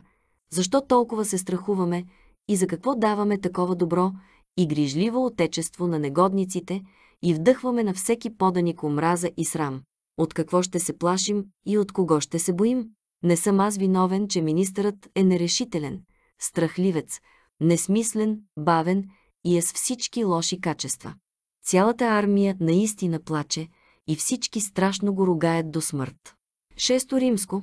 Всички безброй подразделения, които могат да се направят в жизнените явления, могат да се разпределят на едни, в които преобладава съдържанието, и други, в които преобладава формата. Между последните, в противоположност на селския, губернския и дори московския живот, може да се постави петербургският живот, особено салонният живот. Той живот е неизменен. От 1805 година ние се помирявахме, изкарвахме с Бонапарт, правехме конституции и ги премахвахме. А салонът на Ана Павловна и салонът на Елен бяха точно същите, каквито бяха. Единият преди седем, другият преди пет години. Все така с недоумение говореха о Ана Павловна за успехите на Наполеон и виждаха както в успехите му, така и в това, че европейските монарси търпяха действията му злоумишлен заговор, който има за единствена цел да причинява неприятност и безпокойство на придворния кръжок, представителка на който беше Ана Павловна. Все така Оелен, която самият Румянцев удостояваше с посещения и я смяташе за забележително умна жена – също както в 1808, така и в 1812 година, говореха с възторг за великата нация и за великия, човеки гледаха със съжаление на скъсването с Франция, което по мнението на хората от салона на Елен трябваше да свърши с мир. Напоследък, след пристигането на царя от армията, в тия противоположни кръжоци, салони стана известно вълнение и бяха направени някои демонстрации, едни срещу други – но насоката на кръжоците остана същата. В кръжока на Ана Павловна приемаха от французите само закоренели легитимисти и тук се изказваше патриотичната мисъл, че не бива да се ходи във френския театър и че издръжката на трупата струва колкото издръжката на цял корпус. Военните събития се следяха жадно и се пускаха най-изгодни слухове за нашата армия. В кръжока на Елен, Румянцевския, френския се опровергаваха слуховете за жестокостите на врага и на войната и се обсъждаха всички опити на Наполеон за помирение. В този кръжок укоряваха уния, които съветваха да се направят твърде прибързани разпореждания за преместване в Казан на придворните и девическите учебни заведения, които бяха под покровителството на императрицата майка. Изобщо в кръжока на Елен цялата работа по войната бе смятана като празни демонстрации, които много скоро ще свършат с мир и господствуваше мнението на Билибин, който сега, в Петербург, беше свой човек Уелен. Всеки умен човек трябваше да ходи у нея, че не барутът, а ония, които са го измислили, решават нещата. В този кръжок иронично и твърде умно, макар и твърде предпазливо, усмиваха московския възторг, известието за който стигна в Петербург заедно с царя. В кръжока на Ана Павловна, напротив, се възхищаваха от тия възторзи и говореха за тях тъй, както Плутърх говори за древните. Княз Василий, който заемаше все същите важни длъжности, бе съединителното звено между двата кръжока. Той ходеше Уай Мо Бонне Ами и едно, Ана Павловна, ходеше и Данс Ласалон Дипломатикое, Ди Мо Фиоле 2 и често в непрестанните преминавания от единия лагер в другия се объркваше и Оелен, приказваше онова, което трябваше да приказва у Ана Павловна и обратното. Едно добрата си приятелка, две в дипломатическия салон на дъщеря си, наскоро след пристигането на царя, княз Василий, се разприказва у Ана Павловна за военните работи, като осъждаше жестоко Барклай де Толи и не можеше да реши кой би трябвало да бъде назначен за главнокомандуващ. Един от гостите, известен като Анхом Меди Беуцуп Ди Мерите, когато разказа, че видял избрания днес началник на Петербургското опълчение Котузов, как заседава в финансовата палата за приемане на опълченците, предпазливо си позволи да изкаже предположението, че Котузов би бил човекът, който може да задоволи всички изисквания. Човек с големи достоинства. Ана Павловна се усмихна тъжно и каза, че освен неприятности Котузов, нищо друго не е правил на царя. Аз казах и повторих в дворянското събрание, пресече княз Василий, но не ме послушаха. Казах, че избирането му за началник на опълчението няма да се хареса на царя. Не ме послушаха. Все някаква мания за фрондиране, продължи той. И пред кого? И все защото искаме да маймунствуваме на глупавите московски възторзи, каза княз Василий, като се обърка за миг, забравил, че уелен човек трябва да се подиграва на московските възторзи, а Уана Павловна да се възхищава от тях. Но веднага се оправи. Е, прилично ли е за граф Котузов, най-стария генерал в Русия, да заседава в палатата, Ет Илен Рестера Поурсо Пейне. Нима е възможно да се назначи за главнокомандуващ човек, който не може да яхне кон, на съвещание заспива един най-покварен човек. Хубаво се е препоръчал той в Букурещ. Оставям на страна качествата му като генерал, но нима може в такъв миг да се назначава немощен и сляп човек, просто сляп. Добър ще бъде той сляп генерал, той нищо не вижда. Да играе на криеница съвсем нищо не вижда и ще остане на сухо. Никой не възрази на това. На 24 юли това беше съвсем право. Но на 29 юли Котузов беше удостоен с княжеско достоинство. Княжеското достоинство можеше да значи, че искаха да се отърват от него и зато и преценката на княз Василий продължаваше да е права, макар че сега той не бързаше да я изказва. Но на 8 август бе свикан комитет от генерал-фелдмаршала Салтиков, Аракчеев, Вязмитинов, Лопухин и Кочубей за обсъждане на военните работи. Комитетът реши, че неуспехите произлизат от многото началници и макар, че хората от комитета знаеха неразположението на царя към Котузов, след кратко съвещание комитетът предложи да се назначи Котузов за главнокомандуващ. И същия ден Котузов бе назначен за пълномощен главнокомандуващ на армиите и на целия край, заеман от войските. На 9 август княз Василий се срещна пак Уана Павловна с Ел Хоммеди Беуцуп Ди Мерите. Ел Хоммеди Беуцуп Ди Мерите угодничеше пред Ана Павловна поради желанието си да бъде назначен за управител на едно девическо учебно заведение на императрица Мария Фьодоровна. Княз Василий влезе в стаята като щастлив победител, като човек, постигнал целта на желанията си. Човекът с големи достоинства. Е биен, Волс, Савес Ло Гранде Новел, Лапринс, Култоузов, Астейт Марецхал. Всички разногласия свършиха. Толкова съм щастлив, толкова ми е драго, каза княз Василий. Енфин Влолон Хоме, рече той многозначително и строго, като изгледа всички, които бяха в салона.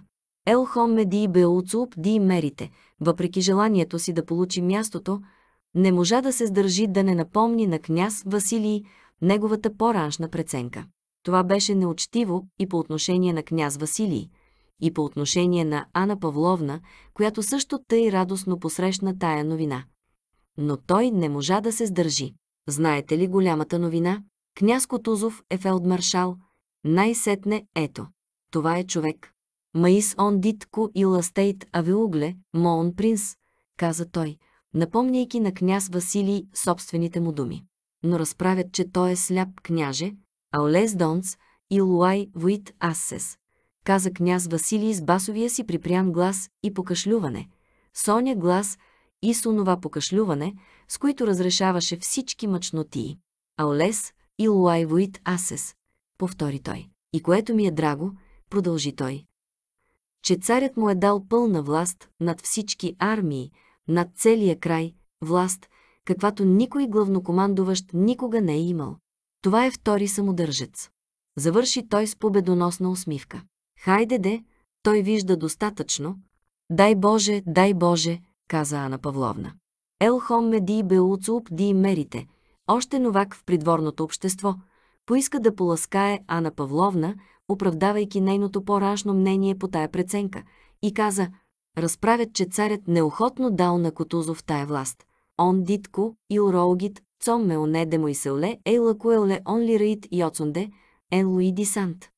Лъс увераин ет лопатрия волс, децернен цет хон неур, разправят, че се изчервил като девойка, на която четат Жуконда, когато му казал «Царят и отечеството ви награждават с тая чест». Пелтетре кюла цуеур еннетаит пост диило партие, каза Ана Павловна. Може би сърцето не е участвало в това? О, не, не. Застъпи се разпалено княз Василий. Сега той вече никому не можеше да отстъпи Котузов. Според княз Василий не само, че Котузов беше добър, но и всички го обожаваха. Не, това не може да бъде, защото царят тъй знаеше да го цени по-рано, рече той. Да даде Бог само княз Котузов, каза Ана Павловна, да вземе наистина властта и да не позволи никому да пъха тояги в колелата му, де батон с Данслар Роес. Княз Василий веднага разбра кой беше той никому. Той каза шепнешком. Аз зная сигурно, че Котузов е поставил задължително условие престолонаследникът да не бъде при армията. Волс Савес Цеко и Лейдит Ей Ел Емпериор. Княз Василий повтори думите, които Котузов уж бил казал на царя. Ако той направи нещо лошо, не мога да го накажа, а ако направи нещо хубаво, не мога да го наградя. О, княз Котузов, та той е най-умният човек и Лацон Наис Ди Лонго е Дейт. Знаете ли какво е казал на царя? Аз го познавам отдавна. Разправят дори, каза Елхоме Ди Беуцуп, Ди Мерите, който нямаше още придворен такт, че светлейшият поставил като условие и самият цар да не отива при армията. В същия миг, когато той каза това, княз Василий и Яна Павловна се извърнаха от него и се спогледаха тъжно, с въздишка за наивността му. Седмо римско. В това време, когато в Петербург ставаха тия работи, французите бяха отминали вече Смоленск и наближаваха все повече и повече Москва. Наполеоновият историк Тиер, също както другите наполеонови историци, казва, като се опитва да оправдае героя си, че Наполеон неволно е бил привлечен към стените на Москва.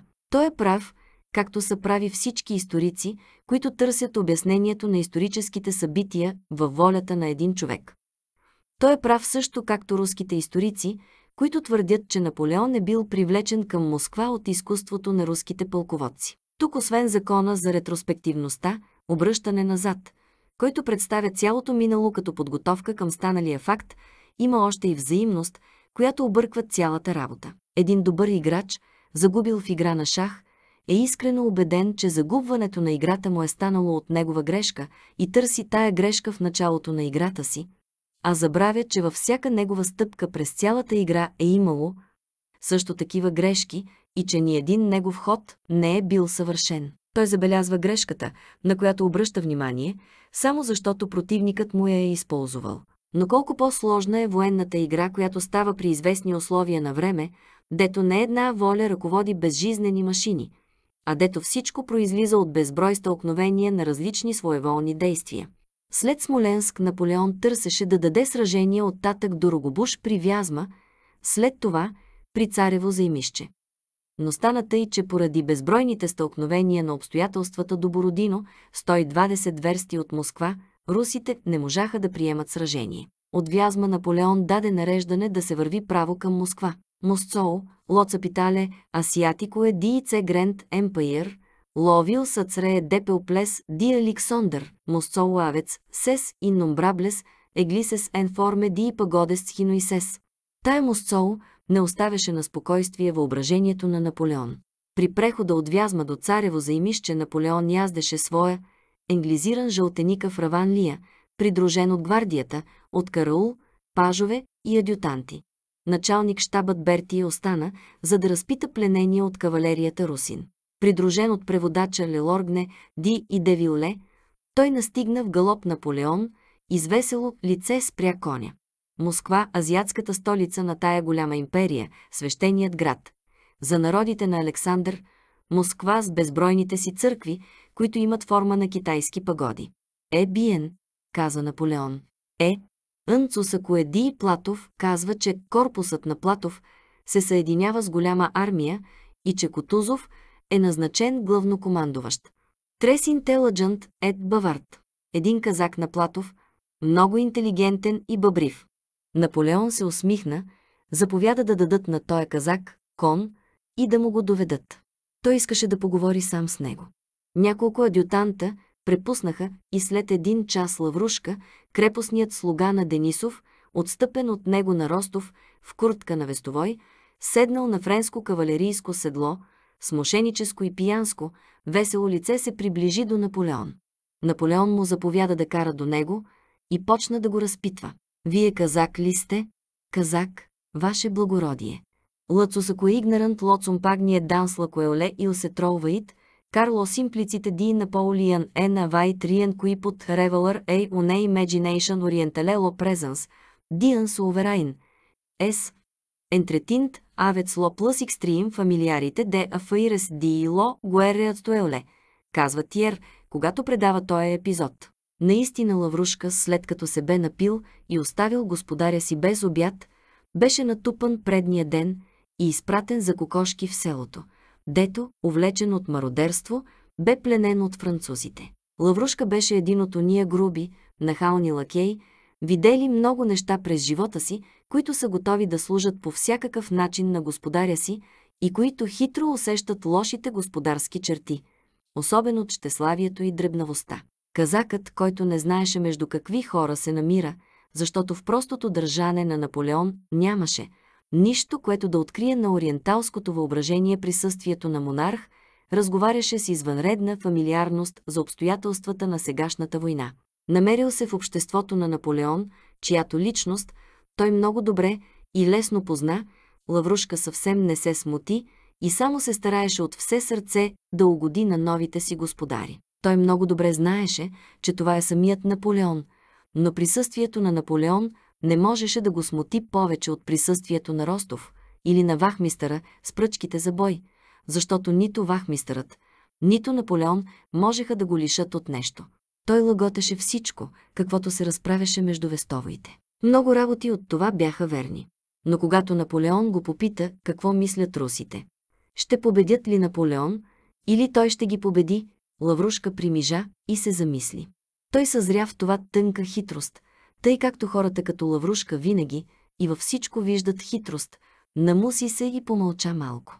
То значи, има ли битка, рече той замислено, и наскоро, то тога тъй ще бъде.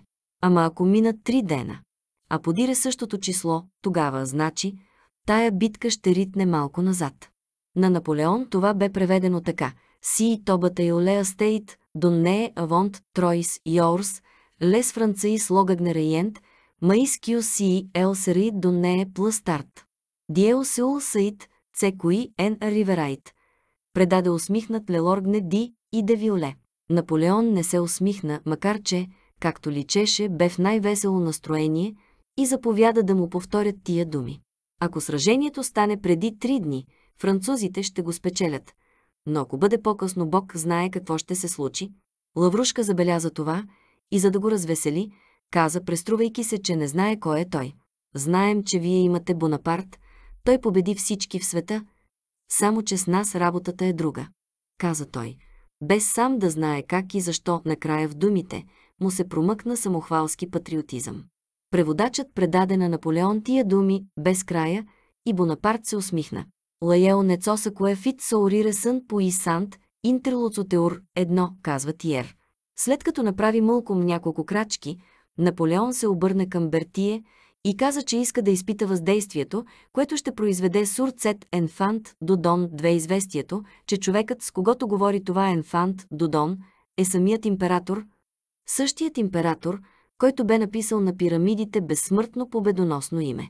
Едно младият казак накара своя могъщ събеседник да се усмихне, две върху това дете на Дон, казаха му го. Лаврушка. Той разбра, че това се правеше, за да го смутят, и че Наполеон мисли, че той ще се оплаши, за да угоди на новите си господари, тутък си се престори насмаян, навтрещен, опули се и взе такова изражение, което имаше обикновено, когато го водеха да го бият.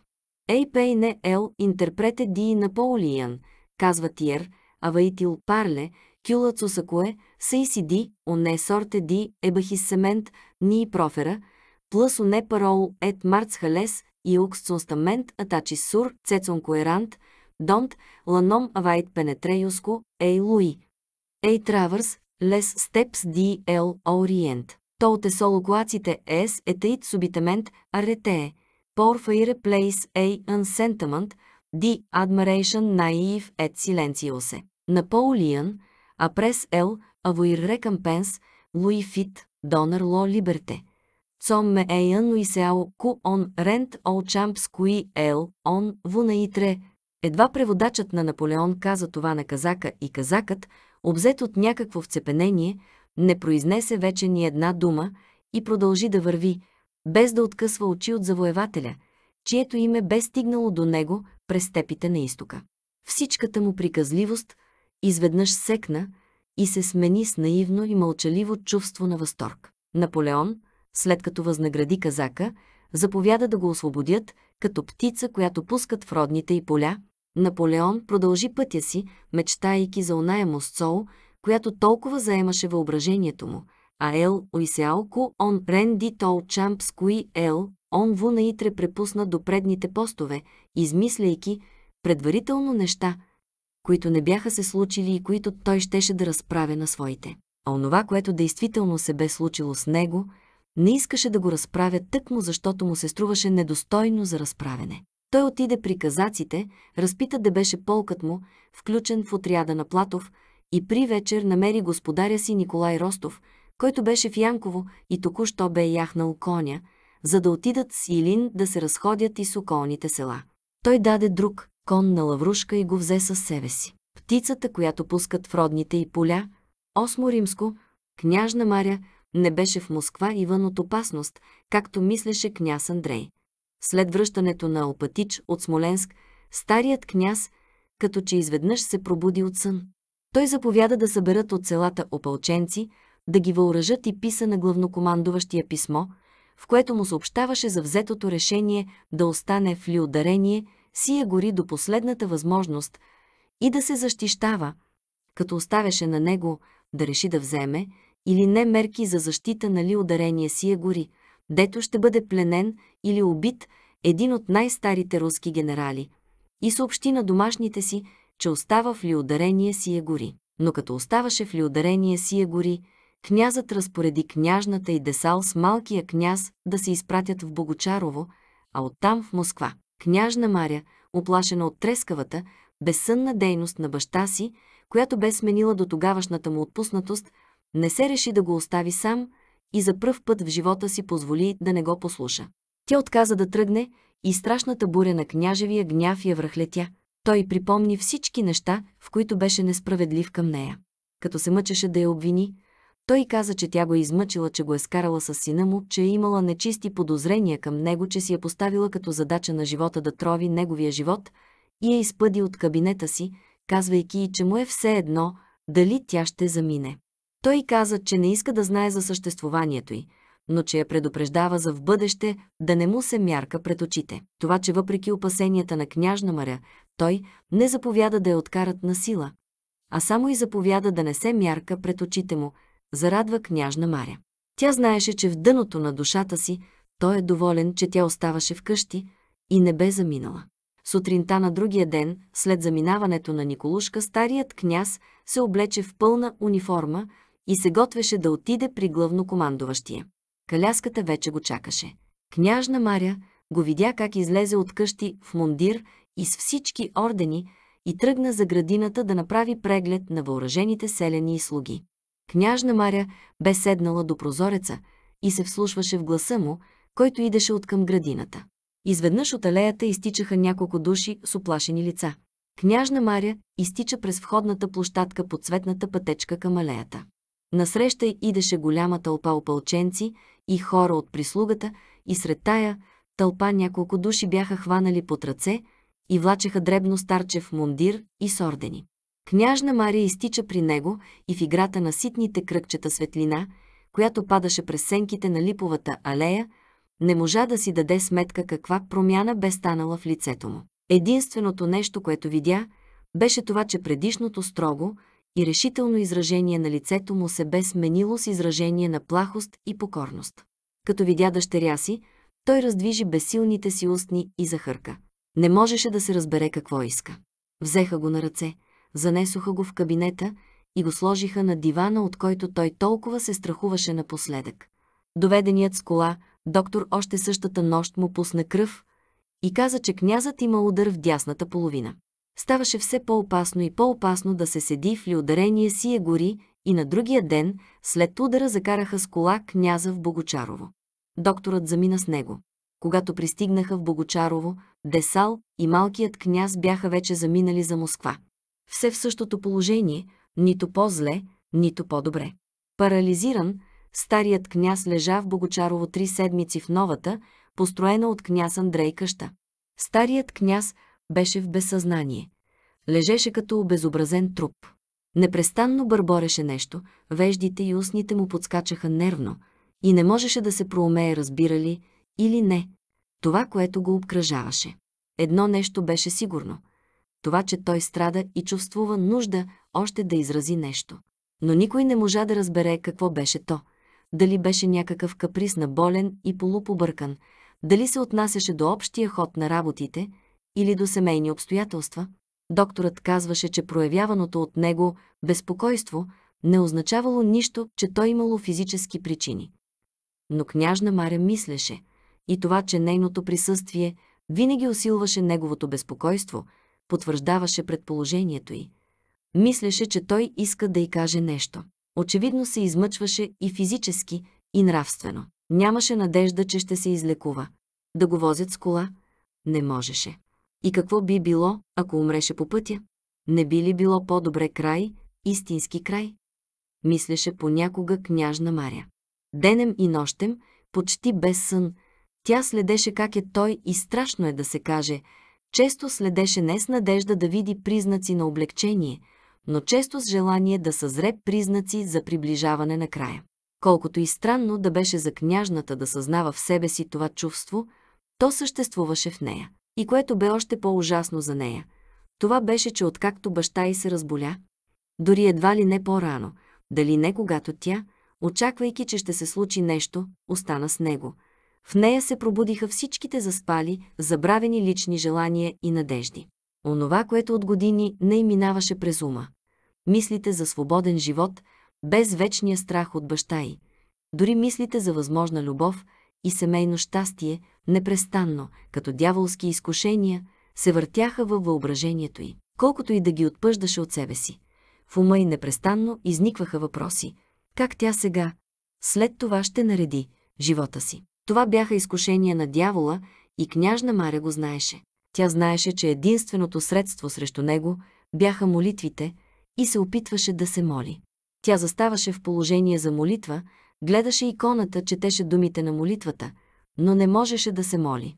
Чувствуваше, че сега е обзел друг свят, на житейска, мъчна и свободна дейност, съвсем противоположна на предишния нравствен свят, в който бе заключена по-рано – и в който най-добрата отеха беше молитвата. Тя не можеше да се моли, не можеше да плаче и житейската грижа я бе обхванала. Ставаше опасно да стоят в Богочарово. От всички страни се чуваше, че французите приближават и в едно село, на 15 на версти от Богочарово, едно имение, било разграбено от френски мародери. Докторът настояваше да отведат княза по-далеч. Предводителят изпрати чиновник при княжна Маря да я склони да тръгнат колкото е възможно по-скоро. Околийският началник, дошъл в Богочарово, настояваше за същото, като каза, че французите са на 40 на версти, че и селата са пръснати френски прокламации и че ако до 15-то число княжната с баща й не заминат, той не отговаря за нищо. На 15-ти княжната реши да замине. Грижите около приготовленията, заповедите, които трябваше да дава и за които всички се обръщаха към нея и отнеха целия ден. Нощта срещу 15-ти тя прекара както обикновено, без да се съблича, в стая съседна на стаята, дето лежеше князът. На няколко пъти, като се събуждаше, тя чуваше неговото пъшкане, бърборене, скърцането на кревата и стъпките на Тихон и на доктора, които го обръщаха. На няколко пъти тя се вслушваше до вратата и се струваше, че сега той бърбори по-високо от друг път и по-често се обръща. Тя не можа да спи и няколко пъти ходи до вратата. Вслушваше се, искаше да влезе и не се решаваше да го направи. Макар, че той не го казваше, но княжна Маря виждаше и знаеше колко неприятна му беше всяка проява на страх за него. Тя забелязваше как недоволно отбягва той нейния поглед, когато тя понякога неволно и упорито го устремяваше в него. Тя знаеше, че нейното появяване нощем, в необикновено време, ще го раздразни. Но никога не й беше ставало тъй мъчно и толкова страшно, че ще го загуби. Тя си припомняше целия си живот с него и във всяка дума и постъпка намираше израз на обичта му към нея. От време на време между тия спомени се вмъкваха във въображението и изкушенията на дявола, мислите за онова, което ще бъде след смъртта му и как ще се нареди нейният нов, свободен живот. Но тя с отвращение пъдеше тия мисли. Призори той притихна и тя заспа. Събуди се късно. Она е искреност, която се случва при пробуждането и показа ясно това, което най-много я занимаваше в болестта на баща й. Тя се събуди, вслуша се в онова, което ставаше зад вратата. И като чу неговото пъшкане, каза си с въздишка, че е все същото. Но какво пък трябва да бъде? Какво исках? Искам смъртта му. Извика тя с отвращение към себе си. Тя се облече, изми, прочете си молитвите и излезе на входната площадка. До площадката бяха докарани екипажите без коне, дето се товареха нещата. Утрото беше топло и сиво.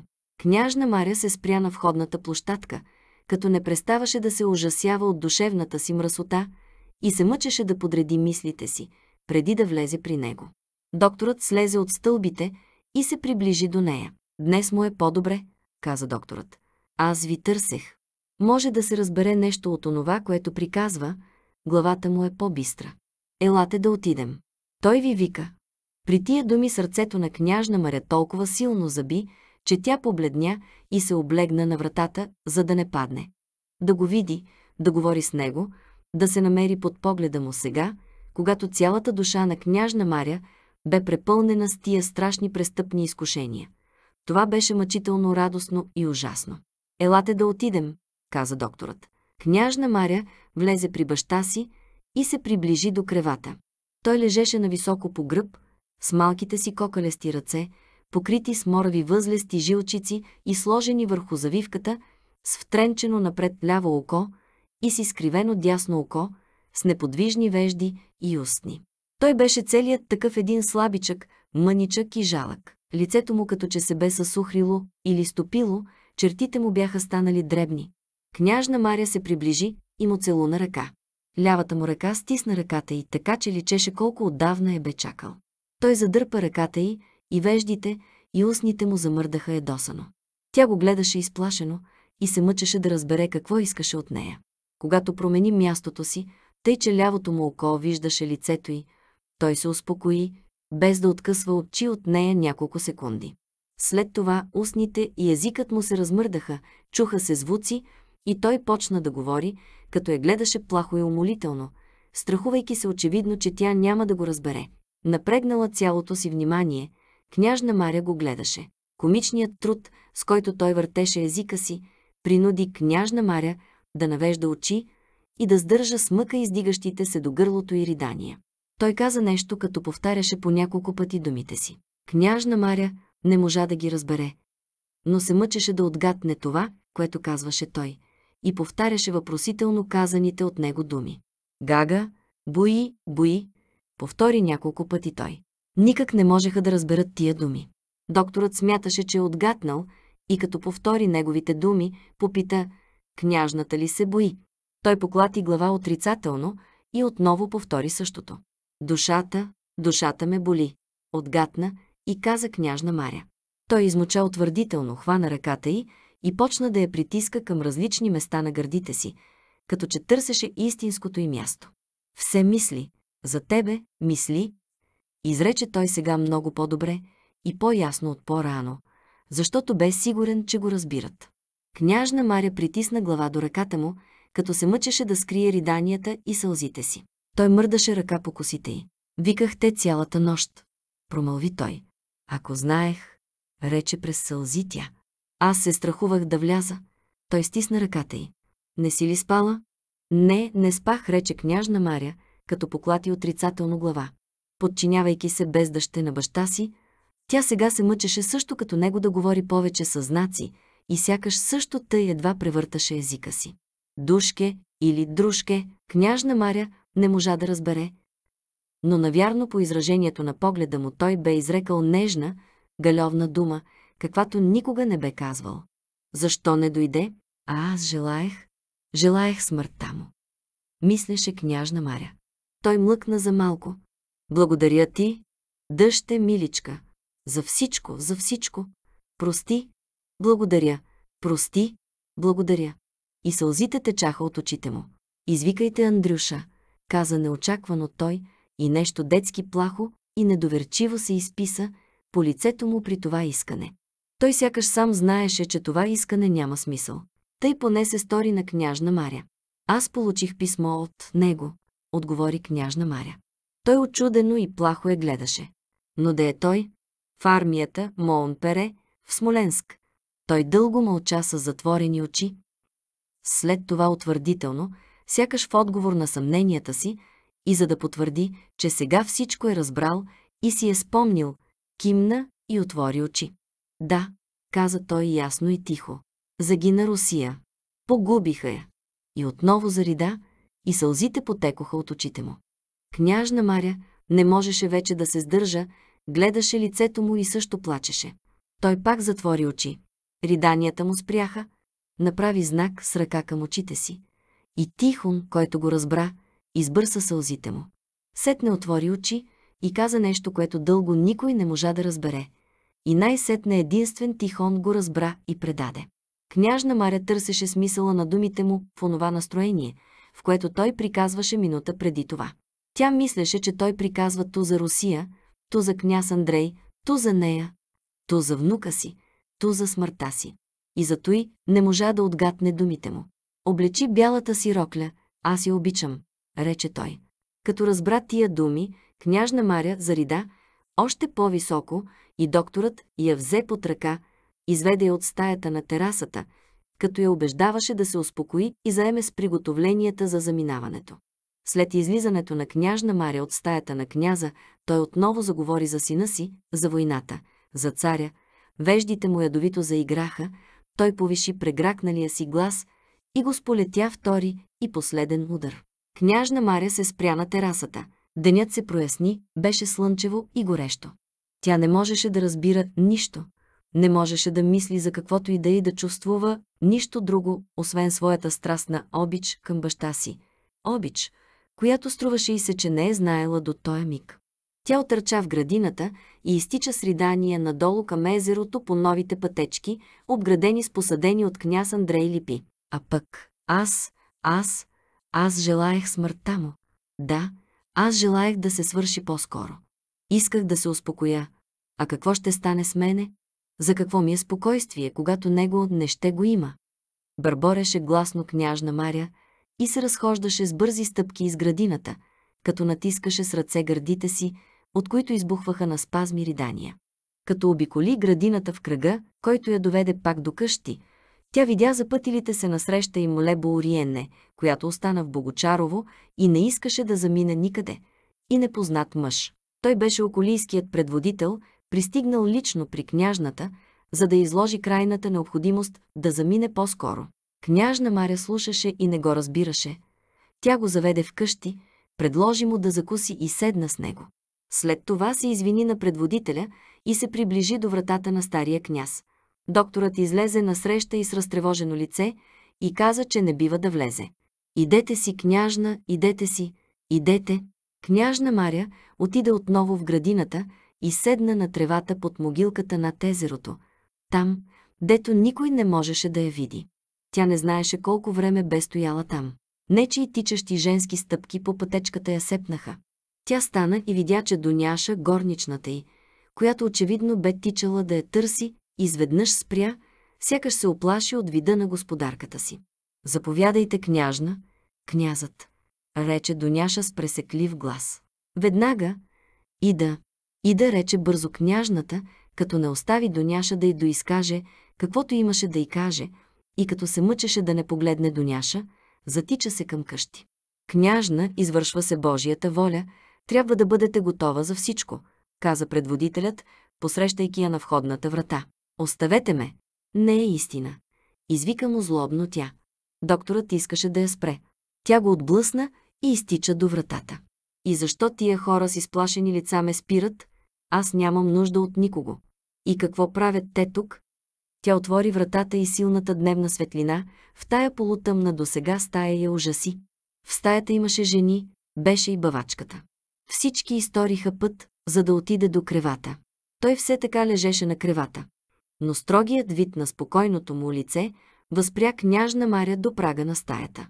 Не, той не е умрял, това не може да бъде.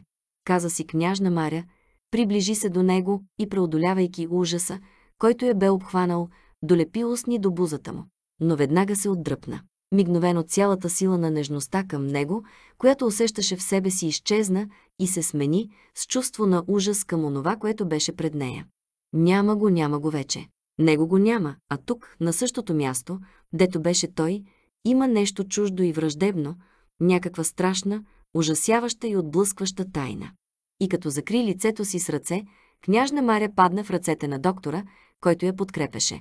В присъствието на Тихон и доктора, жените измиха онова, което беше по-рано той, вързаха с кърпа главата, за да не се вцепени отворена устата, и с друга кърпа вързаха разтворените крака.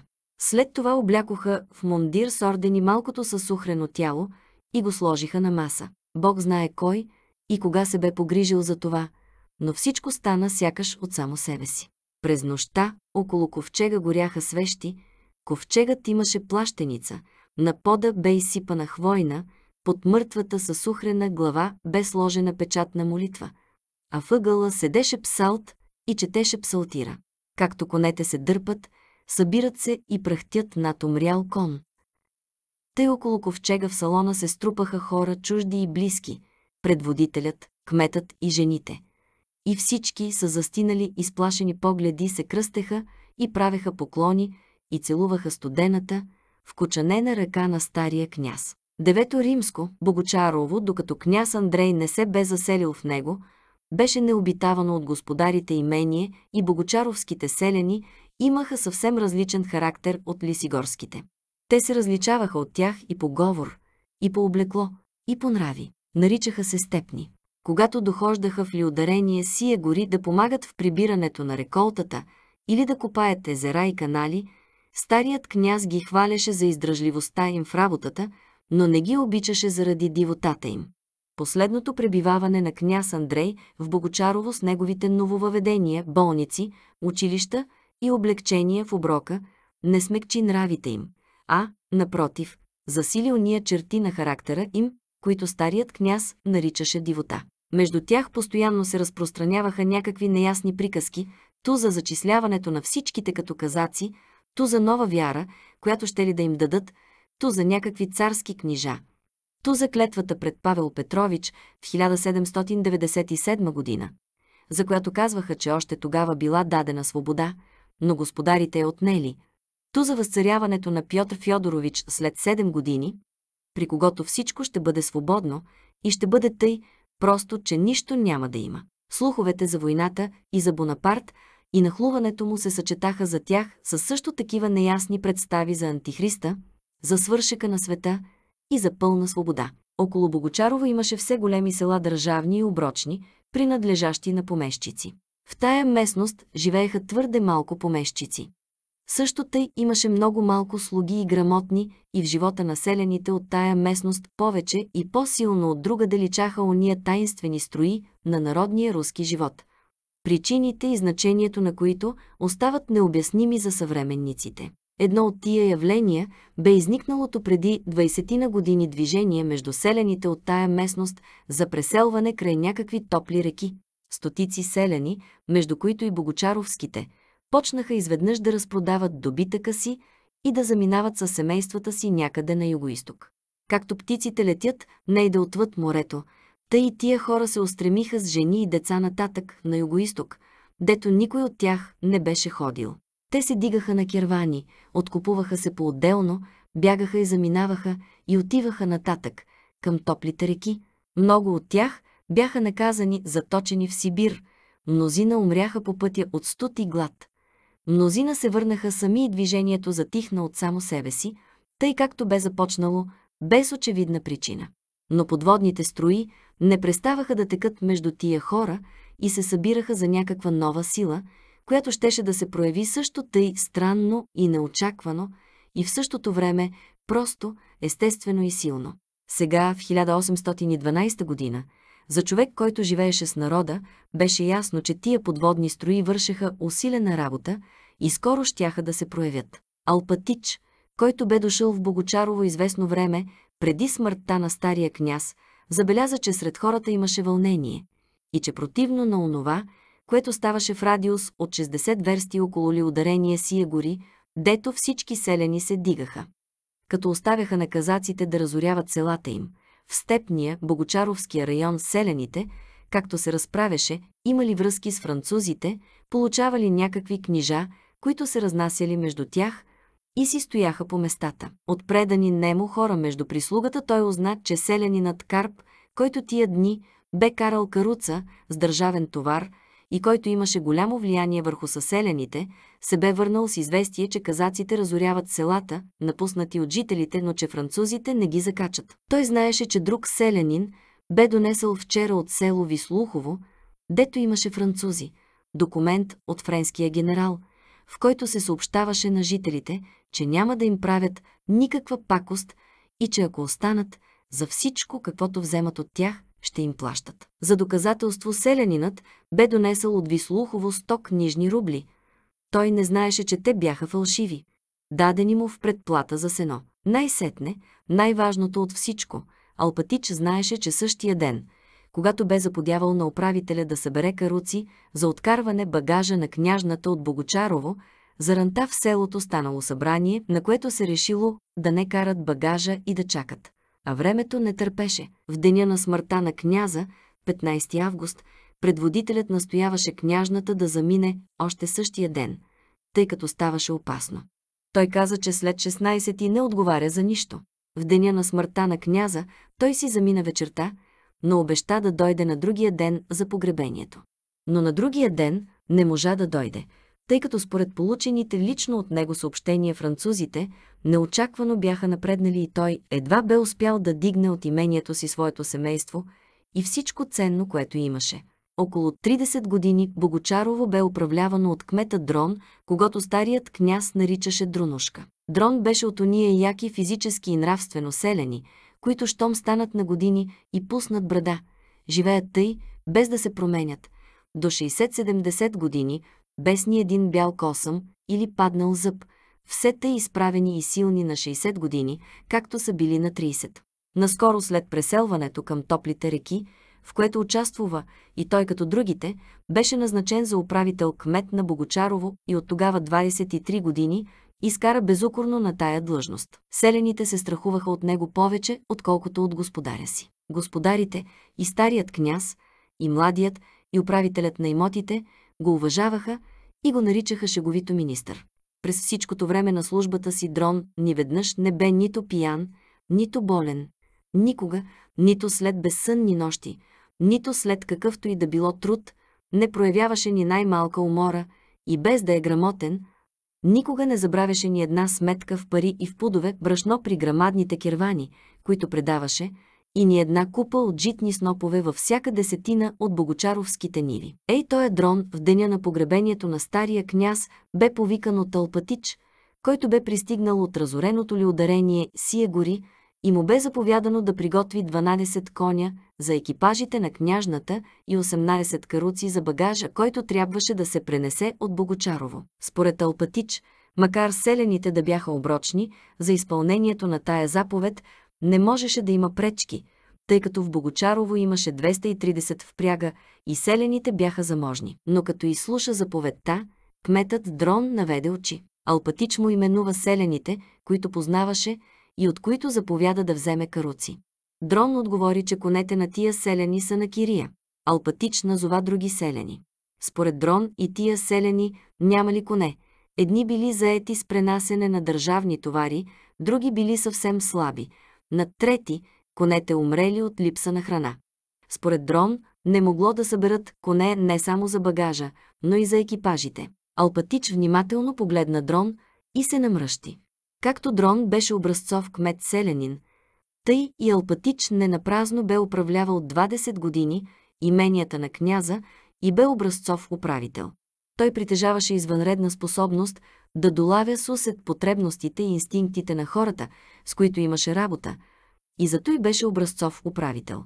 Като погледна дрон, той веднага разбра, че отговорите на дрон не изразяваха мисли на дрон, но бяха израз на онова общо настроение на богочаровските селяни, от което бе обзет и кметът. Но заедно с това, той знаеше, че забогателият и мразен от цялото село Дрон трябва да се колебае между двата лагера – господарския и селяческия. Той съзря това колебание в погледа му и зато и, като се намръщи, се приближи към Дрон. Ти, Дронушка, чувай, рече той. Не ми приказвай празни работи. Негово сиятелство княз Андрей Николаевич лично ми заповяда да се изселят всички и да не остават при неприятеля, а зато и има и царска заповед. И който остане е изменник на царя. Чуваш ли? Чувам, отговори Дрон, без да дигне очи. Алпатич не се задоволи с този отговор. Хей, Дрон, лошо ще стане, каза Алпатич, като заклати глава. Ваша власт, каза Дрон тъжно. Хей, Дрон, я не дей, повтори Алпатич, като измъкна ръка от пазвата си и посочи тържествено с нея пода пред нозете на Дрон. Аз не само, че виждам всичко вътре в тебе, ами и на три аршина под тебе всичко виждам, рече той и се загледа в пода пред краката на Дрон. Дрон се смути, погледна бързо Алпатич и пак наведе очи. Я остави ти глупостите и кажи на хората да се приготвят да напускат къщите си и да вървят в Москва. И да нагласят утре заран каруци за багажа на княжната и не дей отива на събранието. Чуваш ли? Изведнъж дрон падна в нозете на Алпатич. Яков Алпатич, уволни ме. Вземи ключовете, уволни ме за Бога. Я остави, каза строго Алпатич. На три аршина под тебе всичко виждам. Повтори той, като знаеше, че неговото изкуство да отглежда пчели, да знае кога да се сее овесът, както и това, че 20 години умееше да угажда на стария княз.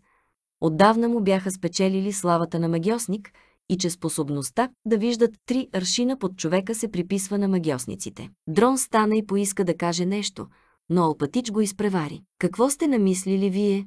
А? Какво мислите? А? Какво да правя с хората? каза Дрон. Съвсем са поштръклели. Аз им казвам, толкова ти казвам, рече Алпатич. Пият ли? попита на късо той.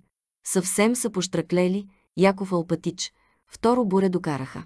Слушай сега, аз ще отида при околийския началник, а ти речи на хората да оставят тия работи и да докарат каруци. Слушам, отговори Дрон. Яков Алпатич не настоя повече.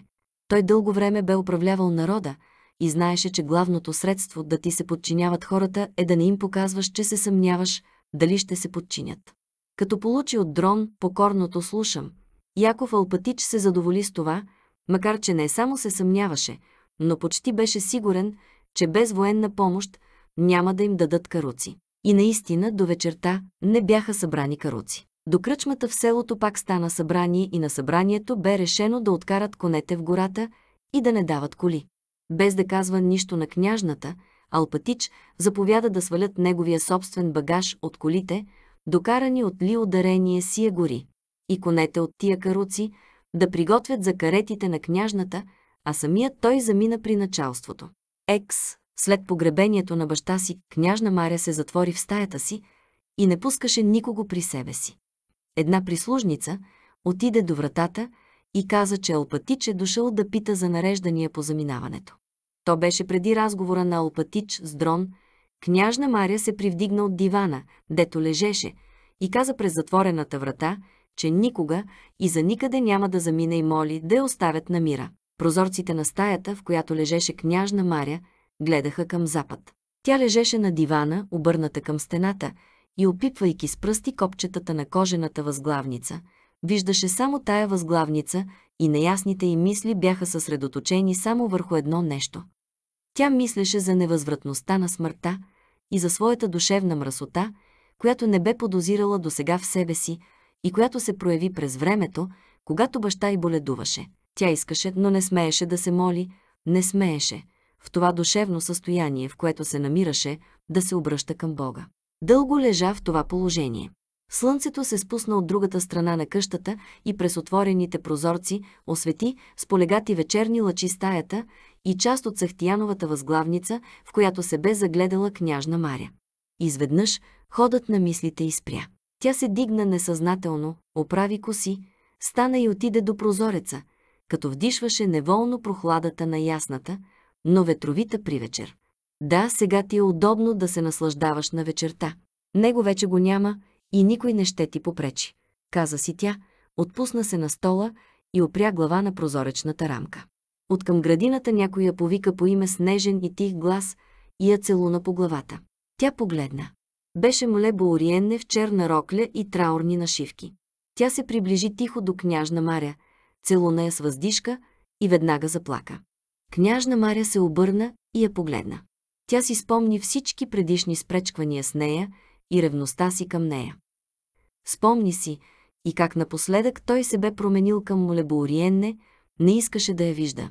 И значи колко несправедливи са били укорите, които княжна Мария отправяше в душата си. А пък и аз ли, аз ли, която желаях смъртта му, имам право да осъждам някого.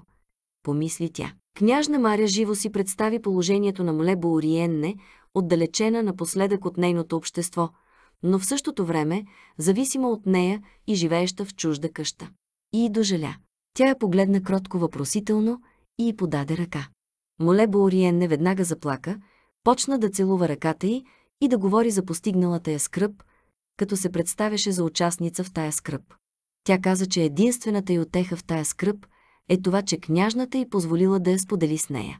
Каза, че всички предишни недоразумения трябва да изчезнат пред голямата скръп, че тя се чувствува чиста пред всички и че оттам той вижда нейната обич и благодарност. Княжната я слушаше, без да разбира думите й, но от време на време я поглеждаше и се вслушваше в звуците на гласа й. Вашето положение, мила княжна, едваш по-ужасно, каза след кратко мълчание Молебо Ориене. Разбирам, че вие не можехте и не можете да мислите за себе си. Но поради моята обич към вас, аз съм задължена да сторя това. Алпатич беше ли при вас? Каза ли ви за заминаването? Попита тя. Княжна Маря не отговори. Тя не разбираше де и кой трябваше да замине. Нима сега може да се предприема каквото и да е, да се мисли за каквото и да е. Нима не е все едно. Тя не отговори. Знаете ли, Цхере Марии, каза му Лебо Ориенне, знаете ли, че ние сме в опасност, че сме заобиколени от французите? Опасно е да се пътува сега. Ако тръгнем, почти сигурно ще паднем в плен и Бог знае. Мила Мари, княжна Маря гледаше приятелката си, без да разбира какво казваше тя. Ах, да знае някой как сега всичко, всичко ми е все едно, каза тя. Разбира се, че за нищо на света аз не бих искала да замина, да го оставя. Алпатич ми говореше нещо за заминаване. Поговорете с него, аз нищо, нищо не мога и не искам. Аз говорих с него, той се надява, че ще успеем да заминем утре. Но аз мисля, че сега ще бъде по-добре да останем тук, каза му Лебоуриене. Защото съгласете се, с Хере Марии, да попаднеш из пътя в ръцете на войници или на разбунтувани селени, би било ужасно. Молебо Ориен не извади от чантичката си едно обращение, не на обикновена руска хартия, на френския генерал Рамо, в което се казваше, че жителите няма защо да напускат домовете си, че френските власти ще им оказват дължимото покровителство и го подаде на княжната. Мисля, че най-добре е да се обърнете към тоя генерал, каза му Лебо Ориенне и съм уверена, че ще ви се окаже необходимото уважение. Княжна Маря четеше обращението и лицето й затрепери в спазми от ридание без сълзи. Чрез кого го получихте? Попита тя. Навярно са разбрали от името ми, че съм французойка, каза му Лебоуриенне, като се изчерви.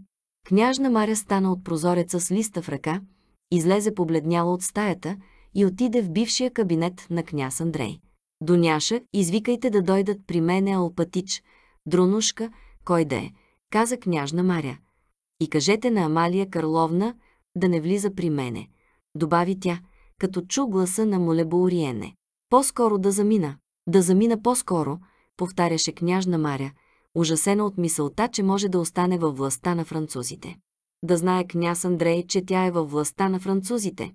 Тя, дъщерята на княз Николай Андреич Булконски, да моли господин генерал Рамо да й окаже покровителство и да се ползува от неговите благодеяния. Тая мисъл я ужасяваше, караше я да потреперва, да се черви и да усеща неизпитвани до сега пристъпи на злоба и гордост. Всичко, което в нейното положение беше тежко и най-главно оскърбително, изпъкна живо пред нея. Те, французите, ще се настанят в тая къща. Господин генерал Рамо ще вземе кабинета на княз Андрей. За да се забавляват, ще ровят и четат неговите писма и книжа. Моле Боуриен Луи Фера Лес Хоннеурс, Ди Богочарово. От милост на мене ще дадат една стаичка. Войниците ще разровят пресния гроб на баща ми, за да му вземат кръстовете и звездите. Те ще ми разправят за победите си над русите, ще ми изказват лицемерно съчувствие за скръпта ми. Мислеше княжна Маря не със своите мисли, но защото се смяташе задължена да мисли с мислите на баща си и брат си. Лично ней беше все едно къде ще остане и какво ще се случи с нея. Но в същото време тя се чувствуваше представителка на покойния си баща и на княз Андрей. Тя неволно мислеше с техните мисли и чувствуваше с техните чувства. Каквото биха казали и каквото биха направили те, точно същото чувствуваше необходимо да стори тя. Отиде в кабинета на княз Андрей и, мъчейки се да се проникне от неговите мисли, почна да обсъжда положението си. Мадмуазел Бориен ще го приеме с почести в Богочарово. Изискванията на живота, които смяташе за изчезнали с смъртта на баща й, изведнъж изникнаха пред нея с нова, непозната до сега сила и я обсебиха. Развълнувана, червена, тя се разхождаше из стаята, като поръчваше да извикат при нея ту Алпатич, ту Михаил Иванович, ту Тихон, ту Дрон. Доняша, бавачката и всички прислужнички не можаха да й кажат доколко беше вярно онова, което й бе съобщила Молебо Ориене. Алпатич не беше вкъщи. Беше заминал при началството. Повиканият Михаил Иванич, архитектът, който дойде при княжна Маря с сънливи очи, не можа да й каже нищо. Все със същата усмивка на съгласие, с която бе свикнал през 15-те години, без да изразява собственото си мнение, да отговаря на княза, отговаряше и на въпросите на княжна Маря, тъй че от отговорите му не можеше да се разбере нищо определено. Повиканият стар камердинер Тихон със смалено и изпито лице, което носеше следи на неизцерима скръп. Отговаряше, слушам на всички въпроси на княжна Маря и едва сдържаше риданията си, като я гледаше. Най-сетне в стаята влезе кметът Дрон, поклони се ниско на княжната и спря до вратата. Княжна Маря мина из стаята и спря срещу него. Дронушка, каза княжна Маря, смятайки го за несъмнен приятел, същият оня Дронушка, който всяка година, когато ходеше на панаира във Вязма и носеше и с усмивка и поднасяше една негова особена корабийка. Дронушка, сега, след нашето нещастие, почна тя и млъкна, тъй като нямаше сили да продължи. Всички сме в Божията власт, каза той с въздишка. Те помълчаха малко.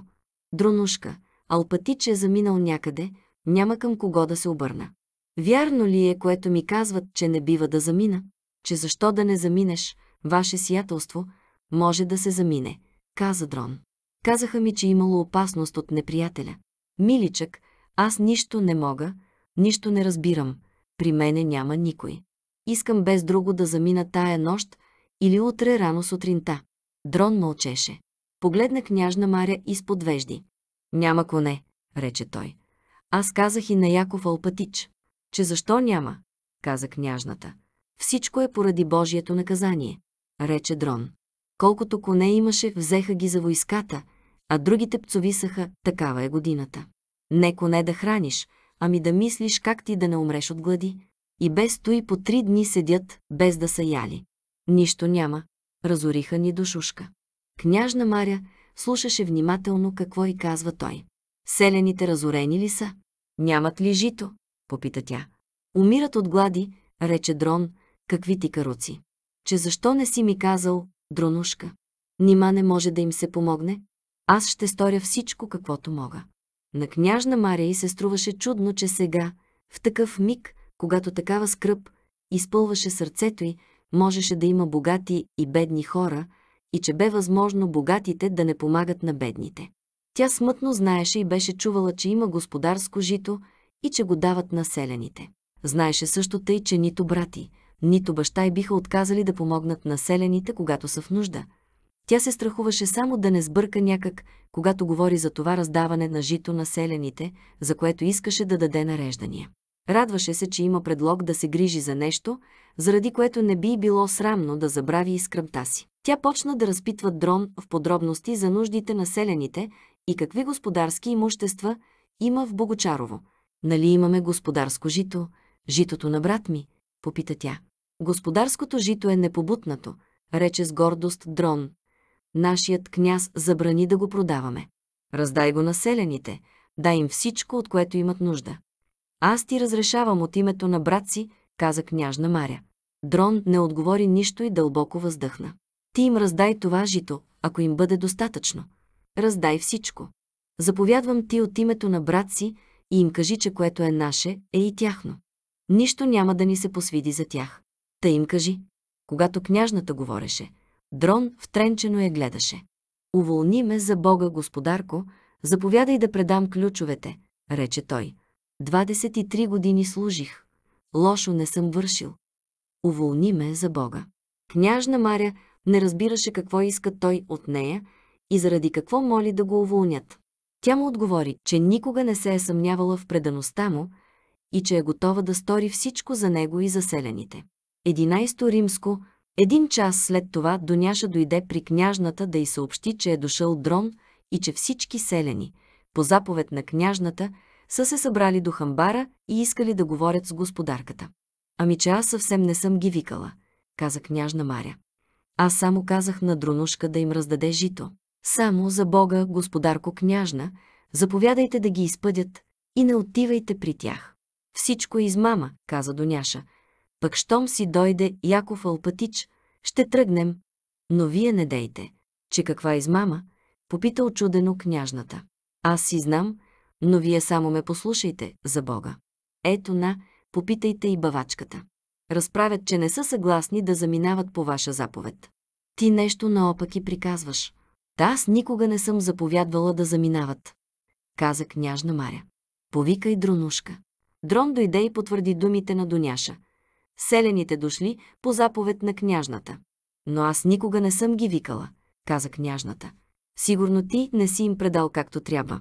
Аз казах само да им дадеш жито. Дрон въздъхна, без да отговори. Ако заповядате, те ще си отидат, рече той. Не, не, аз ще отида при тях, каза княжна Маря. Въпреки увещанията на Доняша и на бавачката да не отива, княжна Маря излезе на входната площадка. Дронушка, Доняша, бавачката и Михаил Иванич вървяха след нея. Навярно те мислят, че им предлагам жито, за да останат по къщата си, а пък аз ще замина, като ги изоставя на французите, помисли княжна Маря. Аз ще им обещая, че ще им давам месечна издръжка в край московското ни имение и жилища. Уверена съм, че на мое място Андрей би направил повече, мислеше тя, приближавайки вздрача до множеството, което се бе събрало на Мегдана до Хамбара. Множеството се струпа, размърда и шапките бързо се свалиха. Княжна Маря, с наведени очи и препъвайки се в роклята си, отиде близко до тях. Толкова различни стари и млади очи бяха устремени в нея и толкова различни лица имаше, че княжна Маря не виждаше ни едно лице и чувствувайки изведнъж необходимост да говори с всички, не знаеше как да постъпи.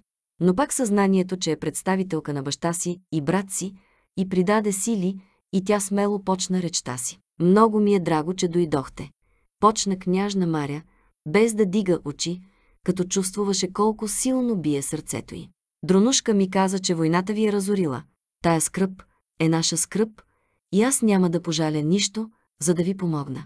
Самата аз заминавам, защото тук е опасно и неприятелят е близо, защото аз ви давам всичко, приятели мои, и ви моля да вземете всичко, всичкото наше жито, за да не бъдете в немотия. А ако са ви казали, че ви давам жито, за да останете тук, това не е истина. Напротив, аз ви моля да заминете с цялото си имущество за нашето краймосковско имение, и там аз поемам грижата и ви обещавам, че вие няма да търпите нужда. Ще ви се дадат къщи и жито. Княжната спря. В тълпата се чуха само въздишки. Аз не правя това от себе си, продължи княжната. Правя го от името на покойния си баща, който беше добър господар за вас. И от името на брат си и на неговия син. Тя пак се спря. Никой не прекъсна мълчанието й. Нашата скръп е обща и нека делим всичко поравно. Всичко мое и ваше, каза тя, като огледа лицата, които бяха насреща й. Всички очи я гледаха с еднакво изражение, значението на което тя не можеше да разбере. Може би то беше любопитство, може би преданост, благодарност или оплаха и недоверие. Във всеки случай изражението на всички лица беше еднакво. Много сме доволни от вашите благодеяния, но господарското жито не ни трябва. Обади се отзад един глас. Но защо? каза княжната. Никой не отговори и като огледа множеството, княжна Маря забеляза, че сега всички очи, които срещаха нейните, веднага се навеждаха.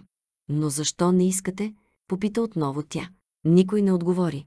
На княжна Мария стана тежко от това мълчание. Тя се помъчи да улови нечий поглед. Защо не говорите? Обърна се княжната към един старец срещу нея, облегнат на тояшката си. Кажи, ако мислиш, че трябва още нещо. Аз ще направя всичко, каза тя, като улови погледа му. Но той сякаш се разсърди от това, наведе глава съвсем и рече. Какво ще се съгласяваме? Не ни трябва жито. Какво да оставим всичко ли? Не сме съгласни. Не сме съгласни. Не даваме съгласие. Ние те жалим, но не даваме съгласие. Замини си сама. Разнесе се от разни страни в тълпата. И отново по всички лица на тая тълпа се изписа едно и също изражение. И сега вече несъмнено беше не изражение на любопитство и благодарност, а на озлобена решителност. Та вие не сте разбрали правилно, каза княжна Маря с тъжна усмивка. Защо не искате да заминете? Аз ви обещавам да ви настаня, да ви храня. А тук неприятелят ще ви разсипе. Но нейният глас бе заглушен от гласовете на тълпата. Не даваме съгласие, нека ни разсипе. Не щем да вземем твоето жито. Не даваме съгласие. Княжна Маря пак се помъчи да улови нечий поглед от тълпата, но ни един поглед не бе насочен към нея. Очевидно, очите им избягваха да я гледат. Стана и чудно и неудобно. Гледай ти, хубаво го измислила, върви в робството след нея. Разсипи си къщата, че върви пък се и зароби. Хайде де, аз, казва, жито ще ви дам. Чуха се гласове от тълпата. Навела глава, княжна Маря излезе от кръга и тръгна за вкъщи. Като повтори на дрон заповедта си, утре да има коне за заминаване, тя си отиде в стаята и остана сама с мислите си. 12 римско, дълго стоя тая нощ, княжна Маря до отворения прозорец в стаята си, като се вслушваше в глъчката на селените, която идеше от селото, но не мислеше за тях. Тя чувствуваше, че колкото и да мисли за тях, не би могла да ги разбере. Мислеше само за едно нещо, за своята скръп, която сега, след прекъсването, причинено от грижите за настоящето, бе станала вече за нея минало. Сега тя вече можеше да си спомня, можеше да плаче и можеше да се моли. С залязването на слънцето вятърът затихна. Нощта беше тиха и прохладна. След 11 часа гласовете почнаха да затихват, пропя петел и зад липите почна да се показва пълна луна, дигна се свежа, бяла мъгла роса и над селото, и над къщата се възцари тишина. Една след друга пред нея изпъкваха картини от близкото минало. Болестта и последните минути на баща й. И с тъжна радост тя се спираше сега на тия спомени, като отпъждаше с ужас от себе си само последната представа за неговата смърт, която тя чувствуваше това. Нямаше сили да съзерцава дори във въображението си в този тих и таинствен нощен час. И тя виждаше тия картини така ясно и с такива подробности, че те й се струваха то настояще, то минало, то бъдеще. Ту пред нея живо изпъкваше минутата, когато получи удара и когато го влачеха под ръце от градината, нали ударение сие гори, и той бърбореше нещо с немощен език. Побелелите му вежди подскачаха и той безпокойно и плахо я гледаше. Той и тогава искаше да ми каже онова, което ми каза в деня на смъртта си, мислеше тя. Той винаги е мислял онова, което ми каза, и ето, че тя си спомни с всички подробности нощта в лиударение сия гори, преди той да получи удара, когато предчувствувайки бедата, въпреки волята му остана при него. Не спа и през нощта слезе на пръсти долу и като се приближи до вратата на стаята с цветята, дето баща и нощуваше тая нощ, вслуша се в гласа му. С измъчен, уморен глас той говореше нещо с тихон. Личеше, че му се искаше да поприказва. И защо не ме повика? Защо не ми позволи да бъда там вместо Тихон? Мислеше тогава и сега княжна Маря. Той вече никога и никому няма да каже всичко, което е ставало в душата му. Никога вече за него и за мене няма да се върне тая минута, когато той би казал всичко, което му се е искало. И аз, а не Тихон, би го слушала и разбирала. Защо не влязох тогава в стаята? Мислеше тя.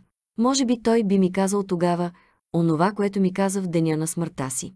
Той и тогава в разговора си с Тихон два пъти попита за мене. Искало му се да ме види, а аз стоях там, зад вратата. Тъжно, тежко му е било да говори с Тихон, който не го е разбирал. Помня, че той заговори с него за Лиза като за жива. Беше забравил, че тя умря и Тихон му припомни, че нея вече я няма. И той извика «Глупак». Тежко му е било. Аз чувах през вратата как той легна с пъшкане на кревата и извика високо. Боже мой! Защо не влязох тогава? Какво би ми сторил той? Какво бих загубила? Може би тогава той би се отешил и би ми казал тая дума. И княжна Маря произнесе гласно оная галевна дума, която той бе и казал в деня на смъртта си. Душке, повтори княжна Маря тая дума и зарида с облегчаващи душата сълзи. Сега тя виждаше лицето му пред себе си. Но не това лице, което знаеше, откак се помнеше, и което винаги виждаше отдалеч. А онова лице, плахо и слабо, което в последния ден, навеждайки се до устата му, за да чуе какво казва, за първи път видя отблизо с всичките му бръчки и подробности. Душке, повтори тя, какво е мислял, когато каза тая дума? Какво мисли сега? Дойде и изведнъж този въпрос и като отговор тя го видя пред себе си с онова изражение, което той имаше в ковчега на вързаното с бяла кърпа лице. И оня ужас, който я бе обхванал тогава, когато го досегна и се убеди, че това не само не беше той, но беше нещо таинствено и отблъскващо, я обхвана и сега. Тя искаше да мисли за друго, искаше да се моли и не можеше да направи нищо. С големи, отворени очи, тя гледаше лунната светлина и сенките. Всеки миг очакваше да види неговото мъртво лице и чувствуваше, че повисналата над къщата и вътре в къщата тишина я сковава. Доняша, прошепна тя. Доняша, извика с нечовешки глас и като се изкубна от тишината, изтича към стаята на прислужничките срещу тичащите към нея бавачка и момичета. 13 римско, на 17 август Ростов и Илин, придружени от Лаврушка, който току-що се бе върнал от плен, и от един хусар Вестовой, бяха тръгнали от лагера си Янково на 15 версти от Богочарово, да се разходят с коне, да изпробват новия, купен от Илин кон и да разузнаят дали в селата няма сено. Последните три дни Богочарово се намираше между двете неприятелски армии, тъй че там еднакво лесно можеше да се отбие руския риергард, както и френски авангард, и зато и, като грижлив ескадронен командир, Ростов желаеше да се възползва преди французите от продоволствието, което бе останало в Богочарово. Ростов и Илин бяха в най-весело настроение. По пътя към Богочарово, княжеско имение с чифлик, дето се надяваха, че ще намерят голям брой слуги и хубавички момичета, тето разпитваха Лаврушка за Наполеон и се смееха на онова, което той разказваше, ту се надбягваха, за да опитат коня на Илин. Ростов не знаеше и не предполагаше, че селото, в което отиваха, беше имение на същия Оня Булконски, който бе годеник на сестра му. Ростов и Илин за последен път препуснаха конете да се надбягват по нагорнището пред Богочарово и Ростов, който изпревари Илин, препусна пръв по улицата на село Богочарово. Ти изпревари, каза за червеният Илин. Да, все изпреварвам, и по ливадата, и тук, отговори Ростов, като погали с ръка своя запенен донски кон. А пък аз, ваше сиятелство, на френския, каза от Дире Лаврушка, който наричаше френски кон своята впрегатна кранта. Щях да ви изпреваря, но не исках да ви посрамя. Те стигнаха ходом до хамбара, дето се бе събрала голяма тълпа селени. Някои селени свалиха шапки, други, без да ги свалят, гледаха пристигналите. Двама стари дълги селени с набръчкани лица и редки бради излязоха от кръчмата и като се усмихваха и залитаха, пеейки някаква несвързана песен, приближиха до офицерите. Юначаги, каза Ростов със смях. Е, има ли сено? И какви са еднакви? рече Илин. Най-вес е е, е ли при ка аски пееше единият щастлива усмивка. Един селянин излезе от тълпата и се приближи до Ростов. Вие от кои бяхте? попита той. Французи, отговори смеейки се Илин. Ето го и самия Наполеон, каза той и посочи лаврушка. Значи, руси сте. Попита втори път селянинът. Много ли ваши има насам? Попита друг дребен селянин, като приближи до тях. Много, много, отговори Ростов. Ами вие за какво сте се събрали тук? Добави той. Да не е празник, старците се събраха по селска работа. Отговори селянинът, като се отдалечаваше от него. В това време по пътя от към господарската къща се показаха две жени и мъж с бяла шапка, запътени към офицерите. В розовата рокля е моя, не я давам, рече Илин, забелязал Доняша, която решително тичаше към него. Наша ще бъде, каза Лаврушка на Илин, като му смигна. Какво искате, красавице моя? каза Илин, усмихвайки се.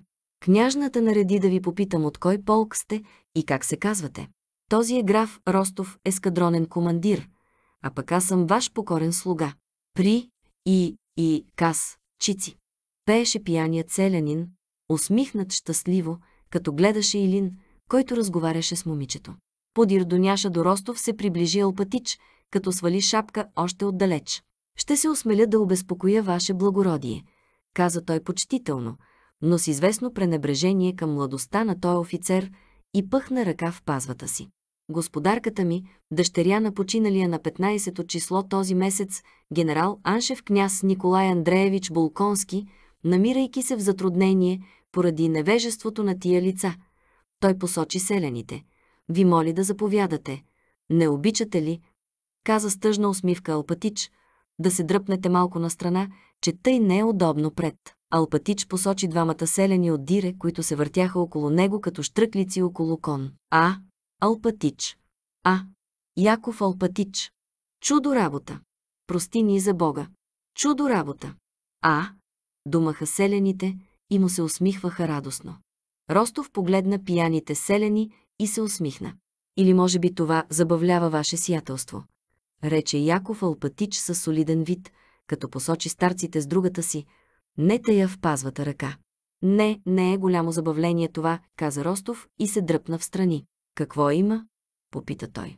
Ще се осмеля да доложа на ваше сиятелство, че тукашният груп народ не иска да пусне господарката да замине от имението и се заканва, че ще отпрегнат конете, тъй че от сутринта всичко е стегнато, но нейно сиятелство не може да замине.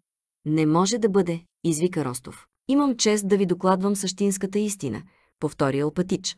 Ростов слезе от коня, даде го на вестовой и тръгна към къщата с Алпатич, като го разпитваше за подробности по работата.